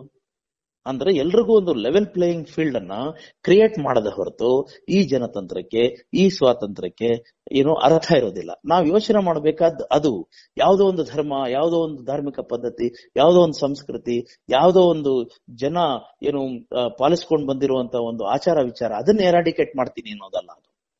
ಈಗ ಯಾರು ಒಂದೊಂದು ಪ್ರದೇಶದ ಜನ ಒಂದೊಂದು ಏನು ಬುಡಕಟ್ಟಿನ ಜನ, ಒಂದೊಂದು ಜನಾಂಗದ ಜನ, ಅವರವರ ಆಚಾರಗಳು, ಅವರವ್ರ ವಿಚಾರಗಳು ಇರುತ್ತೆ ಅದು. ಈಗ ನನ್, ನಾನು ಈಗ ನನ್ನ ದೃಷ್ಟಿಯಿಂದ, ನನ್ನ ಒಂದು ಬುಡಕಟ್ಟಿನ ದೃಷ್ಟಿಯಿಂದ, ನಿಮ್ಮ ಬುಡಕಟ್ಟಿನ ಅಥವಾ ನಿಮ್ಮ ಜನಾಂಗದ ಆಚಾರ ವಿಚಾರಗಳು ಸರಿ ಇಲ್ಲದೆ ಇರ್ಬೋದು, ಚೆನ್ನಾಗಿ ಕಾಣಿಸದೇ ಇರ್ಬೋದು, ತಪ್ಪಾಗಿ ಕಾಣಿಸ್ಬೋದು. ಹಾಗಂತ ನಾನ್ ನಿಮ್ಮನ್ನ ಎರಡಿಕೇಟ್ ಮಾಡೋದು, ನೀವು ನನ್ನನ್ನು ಎರಾಡಿ, ಎರಾಡಿಕೇಟ್ ಮಾಡ್ಕೊಂಡ್, ಮಾಡಕ್ ಬರೋದು. ಹಾಗಿದ್ರೆ ಏನದು? ವಾಟ್ ಇಸ್ ದಿ ಇದು ಏನು ಕಾನ್ಸಿಕ್ವೆನ್ಸ್. ಎಲ್ಲಿ ಅಲ್ಲಿ ಇನ್ಕ್ಲೂಸಿವಿಟಿ. ಇನ್ಕ್ಲೂಸಿವ್ನೆಸ್ ಅನ್ನೋದು ಎಲ್ಲಿ ಬರುತ್ತೆ. ನಮ್ ಪ್ರಕಾರ ಏನಂತಂದ್ರೆ ಈಗ ಯಾರ್ಯಾರು ಹೇಗಿದ್ದಾರೋ ಹಾಗಾಗಿ ಇರೋದಕ್ ಬಿಟ್ಟು. ಅಂದ್ರೆ ನಿಮ್ಮ ಕಲ್ಚರು ನಿಮ್ಮ ಆಚಾರ ನಿಮ್ಮ ವ್ಯವಹಾರ ನಿಮ್ಮ ಉಡುಗೆ ತೊಡುಗೆ ನಿಮ್ಮ ಇದನ್ನು ಏನು ವಸ್ತ್ರ ವಿನ್ಯಾಸ ವಸ್ತ್ರ ಪದ್ಧತಿ ಎಲ್ಲ ನಿಮ್ಮ ನೀವು ನೀವು ಹೇಗಿದ್ರೋ ಹಾಗೆ ಇರಕ್ ಬಿಟ್ಟು ನಾನ್ ಹೇಗಿದ್ದನೋ ಹಾಗೆ ಇದ್ದು ಆದ್ರೆ ಇಬ್ಬರಿಗೂ ಕೂಡ, ಅಂದ್ರೆ ಆ ವೈವಿಧ್ಯತೆಯನ್ನ ಕಾಪಾಡಿಕೊಂಡು, ಆ ವೈವಿಧ್ಯತೆ ಮಧ್ಯದಲ್ಲಿ ಸಮಾನತೆ, ಅಂದ್ರೆ ಎಲ್ಲಿ ಸಮಾನತೆ? ಗೌರವದಲ್ಲಿ ಸಮಾನತೆ, ಘನತೆಯಲ್ಲಿ ಸಮಾನತೆ, ಆಮೇಲೆ ಕಲಿಕೆಯಲ್ಲಿ ಸಮಾನತೆ, ಆಮೇಲೆ ಗಳಿಕೆಯಲ್ಲಿ ಸಮಾನತೆ, ಅವಕಾಶದಲ್ಲಿ ಸಮಾನತೆ. ಮಾಡಿದ್ರೆ ಅದು ನಿಮ್ಗೆ ಪ್ಲೂರಲಿಸ್ಟ್ ಸೊಸೈಟಿ, ಅಂದ್ರೆ ಒಂದು ಪ್ಲೂರಲಿಸ್ಟ್ ಆದಂತ ಒಂದು ಸೊಸೈಟಿಯನ್ನು ಇಟ್ಕೊಂಡು, ಪ್ಲೂರಲ್ ಆಗಿರುವಂತ, ಅಂದ್ರೆ ಆ ವೈವಿಧ್ಯತೆಯನ್ನ ಹಾಗೆ ಇರಕ್ ಬಿಟ್ಟು ಎಲ್ಲದರಲ್ಲೂ ಒಂದು ಸಮಾನತೆಯನ್ನ ಸಾಧಿಸಬೇಕಾಗಿರೋದು ಈಗಿನ ಒಂದು ಅವಶ್ಯಕತೆ. ಅದು ಬಿಟ್ಟು ನಾನು ತೊಡೆದಾಕ್ಬಿಡ್ತೀನಿ ಎರಡ ಎರಾಡಿಕೇಟ್ ಮಾಡ್ಬಿಡ್ತೀನಿ ನನ್ಗೆ ಇಷ್ಟ ಇಲ್ಲದೆ ಇರುವಂತ ಒಂದು ವ್ಯವಸ್ಥೆಯನ್ನ. ಈಗ ಯಾರೋ ಒಬ್ರು ದೇವರನ್ನ ನಂಬದೇ ಇರೋರು ದೇವರನ್ನ ನಂಬೋರ್ನೆಲ್ಲ ಕೊಂದಾಕ್ಬಿಡ್ತೀನಿ ಅನ್ನೋದು ದೇವರನ್ನ ನಂಬೋರು ದೇವರನ್ನ ನಂಬದೇ ಇರೋನ್ನ ಕೊಂದಾಕ್ಬಿಡ್ತೀನಿ ಅನ್ನೋದು ಆಮೇಲೆ ಇವರು ಸೋಕಾಲ್ಡ್ ಸೆಕ್ಯುಲರ್ಗಳು ನಾವು ಹಿಂದುತ್ವವಾದಿಗಳನ್ನ ಇದು ಎರಾಡಿಕೇಟ್ ಮಾಡ್ತೀವಿ ಅನ್ನೋದು. ಹಿಂದುತ್ವವಾದಿಗಳೆಲ್ಲ ಯಾರು ಹಿಂದುತ್ವವನ್ನ ನಂಬೋದಿಲ್ವೋ ಅವರೆಲ್ಲ ಈ ದೇಶದಲ್ಲೇ ಇರೋಂಗಿಲ್ಲ ಅಂತ ಹೇಳೋದು. ಇದು ಅರಾಜಕತೆಯನ್ನ ಸೃಷ್ಟಿ ಮಾಡೋದ್ರ ಜೊತೆಗೆ ಬಹಳ ಇಂಪಾರ್ಟೆಂಟ್ ಆಗಿ ನಾವು ಹೇಳ್ಬೇಕಾಗಿರೋದು ಅಂತಂದ್ರೆ ಅದು ದೇಶದ್ರೋಹದ ಕೆಲಸ ಆಗುತ್ತೆ. ಯಾಕಂದ್ರೆ ದೇಶವನ್ನ ಕಟ್ಟಬೇಕಾಗಿದೆ ರಾಷ್ಟ್ರೀಯತೆ ಅಂದ್ರೆ ರಾಷ್ಟ್ರ ಅಂದ್ರೆ ಏನು ಅಂತ ಫಸ್ಟ್ ಹೇಳೋದು ರಾಷ್ಟ್ರ ಅಂದ್ರೆ ಜನ. ಜನಗಳಿಗೆ ವಿರೋಧವಾಗಿ ನೀವು ಏನ್ ಮಾಡ್ತಿರೋ ಅದು ನಿಮ್ಮ ಸ್ವಾರ್ಥಕ್ಕೆ ನಿಮ್ಮ ಅಧಿಕಾರವನ್ನು ಪಡ್ಕೊಳ್ಳೋಕೋಸ್ಕರ ಈ ತರದ ಒಂದು ಅಫೀಮನ್ನ ತಿನ್ನಿಸಿ ಅಫೀಮನ್ನ ಕುಡಿಸಿ ಒಬ್ಬ ಕೆಲವರು ಧರ್ಮದ ಅಫೀಮು ಇನ್ ಕೆಲವರು ಜಾತ್ಯತೀತತೆ ಅಂದ್ರೆ ಅಫೀಮನ್ನ ಕುಡಿಸಿ ಅದ್ರ ಮೂಲಕ ನಾನೇನು ಇವಾಗ ಫಾರ್ ಎಕ್ಸಾಂಪಲ್ ಈ ಈ ಡಾಗ್ಮಾ ಇದೆಯಲ್ಲ ತತ್ವಗಳಿದೆಯಲ್ಲ ಅಂದ್ರೆ ಐಡಿಯಾಲಜಿ ಇದೆಯಲ್ಲ ಈ ಐಡಿಯಾಲಜಿ ಕೂಡ ಒಂದು ಮತ್ತನ್ನ ಮದವನ್ನ ಏರಿಸುವಂತ ಒಂದು ಅಫೀಮನ್ನೇ ಅಫೀಮೇನೆ. ಆದರೆ ಅದು, ಅದೆಲ್ಲ ಒಂದು ಒಂದು ಲಿಬರಲ್ ಆಗಿ ಇರಬೇಕಂದ್ರೆ you should be in true sense you should be liberal ಅಂದ್ರೆ ಅಕಾಮಡೇಟಿವ್ ಆಗಿರ್ಬೇಕಾಗತ್ತೆ ಅಂತ ಎಸ್ ಸರ್ ಈಗ ಚರ್ಚೆಯ ಅಂತಿಮ ಘಟ್ಟಕ್ಕೆ ಬಂದಿದ್ದೀವಿ. ಅಂದ್ರೆ ಈ ಒಂದು ಹಿಂದುತ್ವ ಎರಾಡಿಕೇಟ್ ಅನ್ನೋದು ಮತ್ತು ರಾಷ್ಟ್ರೀಯತೆ ಅನ್ನೋದು ಎರಡೂ ಕೂಡ, ಅಂದ್ರೆ ಕೆಲವರು ರಾಷ್ಟ್ರೀಯತೆ ಮುಂದಿಟ್ಕೊಂಡು ಮಾತನಾಡ್ತಾರೆ ಕೆಲವರು ಹಿಂದುತ್ವ ಎರಾಡಿಕೇಟ್ ಮಾಡ್ತೀವಿ ಎರಡೂ ಕೂಡ ಸೋಗಲಾಡಿತನ. ನಿಜವಾಗಿ ಮಾತನಾಡೋದಾದ್ರೆ ಅವರು ಶಿಕ್ಷಣ ಎಲ್ಲರಿಗೂ ಶಿಕ್ಷಣ ಕೊಡೋದ್ರ ಮೂಲಕ ಈ ದೇಶದಲ್ಲಿ ಒಂದು ಸಮಾನತೆ ಸಾಧ್ಯ ಅನ್ನೋದು ಈ ಚರ್ಚೆಯಲ್ಲಿ ನಾವು ಹೇಳ್ತಾ ಇದೀವಿ. ಇದು ನಮ್ಮ ಚಾಲನ ಆಶಯ ಕೂಡ ಆಗಿದೆ. ಈಗಾಗಲೇ ನಾವು ಹಲವಾರು ಕಾರ್ಯಕ್ರಮ ಮಾಡ್ತೀವಿ. ಮುಂದೆ ಇದೇ ರೀತಿಯ ಕಾರ್ಯಕ್ರಮನ ಮಾಡ್ತಾ ಇರ್ತೀವಿ. ಅಲ್ಲಿವರೆಗೂ ನಮ್ಮ ಸಿಯಾನ್ ಕನ್ನಡ ಚಾನೆಲ್ ನೋಡ್ತಾ ಇರಿ. ನಮ್ಮ ಮುಕ್ತ ಪತ್ರಿಕೋದ್ಯಮ ಬೆಂಬಲಿಸಿ. ಹಾಗೆ ನಮ್ಮ ಈ ಶಿಕ್ಷಣ ಮತ್ತು ಆರೋಗ್ಯ ರಾಷ್ಟ್ರೀಕರಣ ಚಳುವಳಿಯನ್ನು ಕೂಡ ಬೆಂಬಲಿಸಿ ಸದಾ ನಿಮ್ ಜೊತೆ ಇರ್ತೀವಿ. ನಮ್ಮನ್ನ ಬೆಂಬಲಿಸಿ. ನ- ಚರ್ಚೆಯಲ್ಲಿ ಭಾಗವಹಿಸಿದ ಧನ್ಯವಾದಗಳು ಸರ್. ನಮಸ್ಕಾರ. ನಮಸ್ಕಾರ. ಸಿಯಾನ್ ಚಾನೆಲ್ನ ನೋಡ್ತಾ ಇರಿ ಸಬ್ಸ್ಕ್ರೈಬ್ ಆಗಿ ಲೈಕ್ ಮಾಡಿ ಶೇರ್ ಮಾಡಿ ಮುಕ್ತ ಪತ್ರಿಕೋದ್ಯಮವನ್ನ ಬೆಂಬಲಿಸಿ. ನಮಸ್ಕಾರ.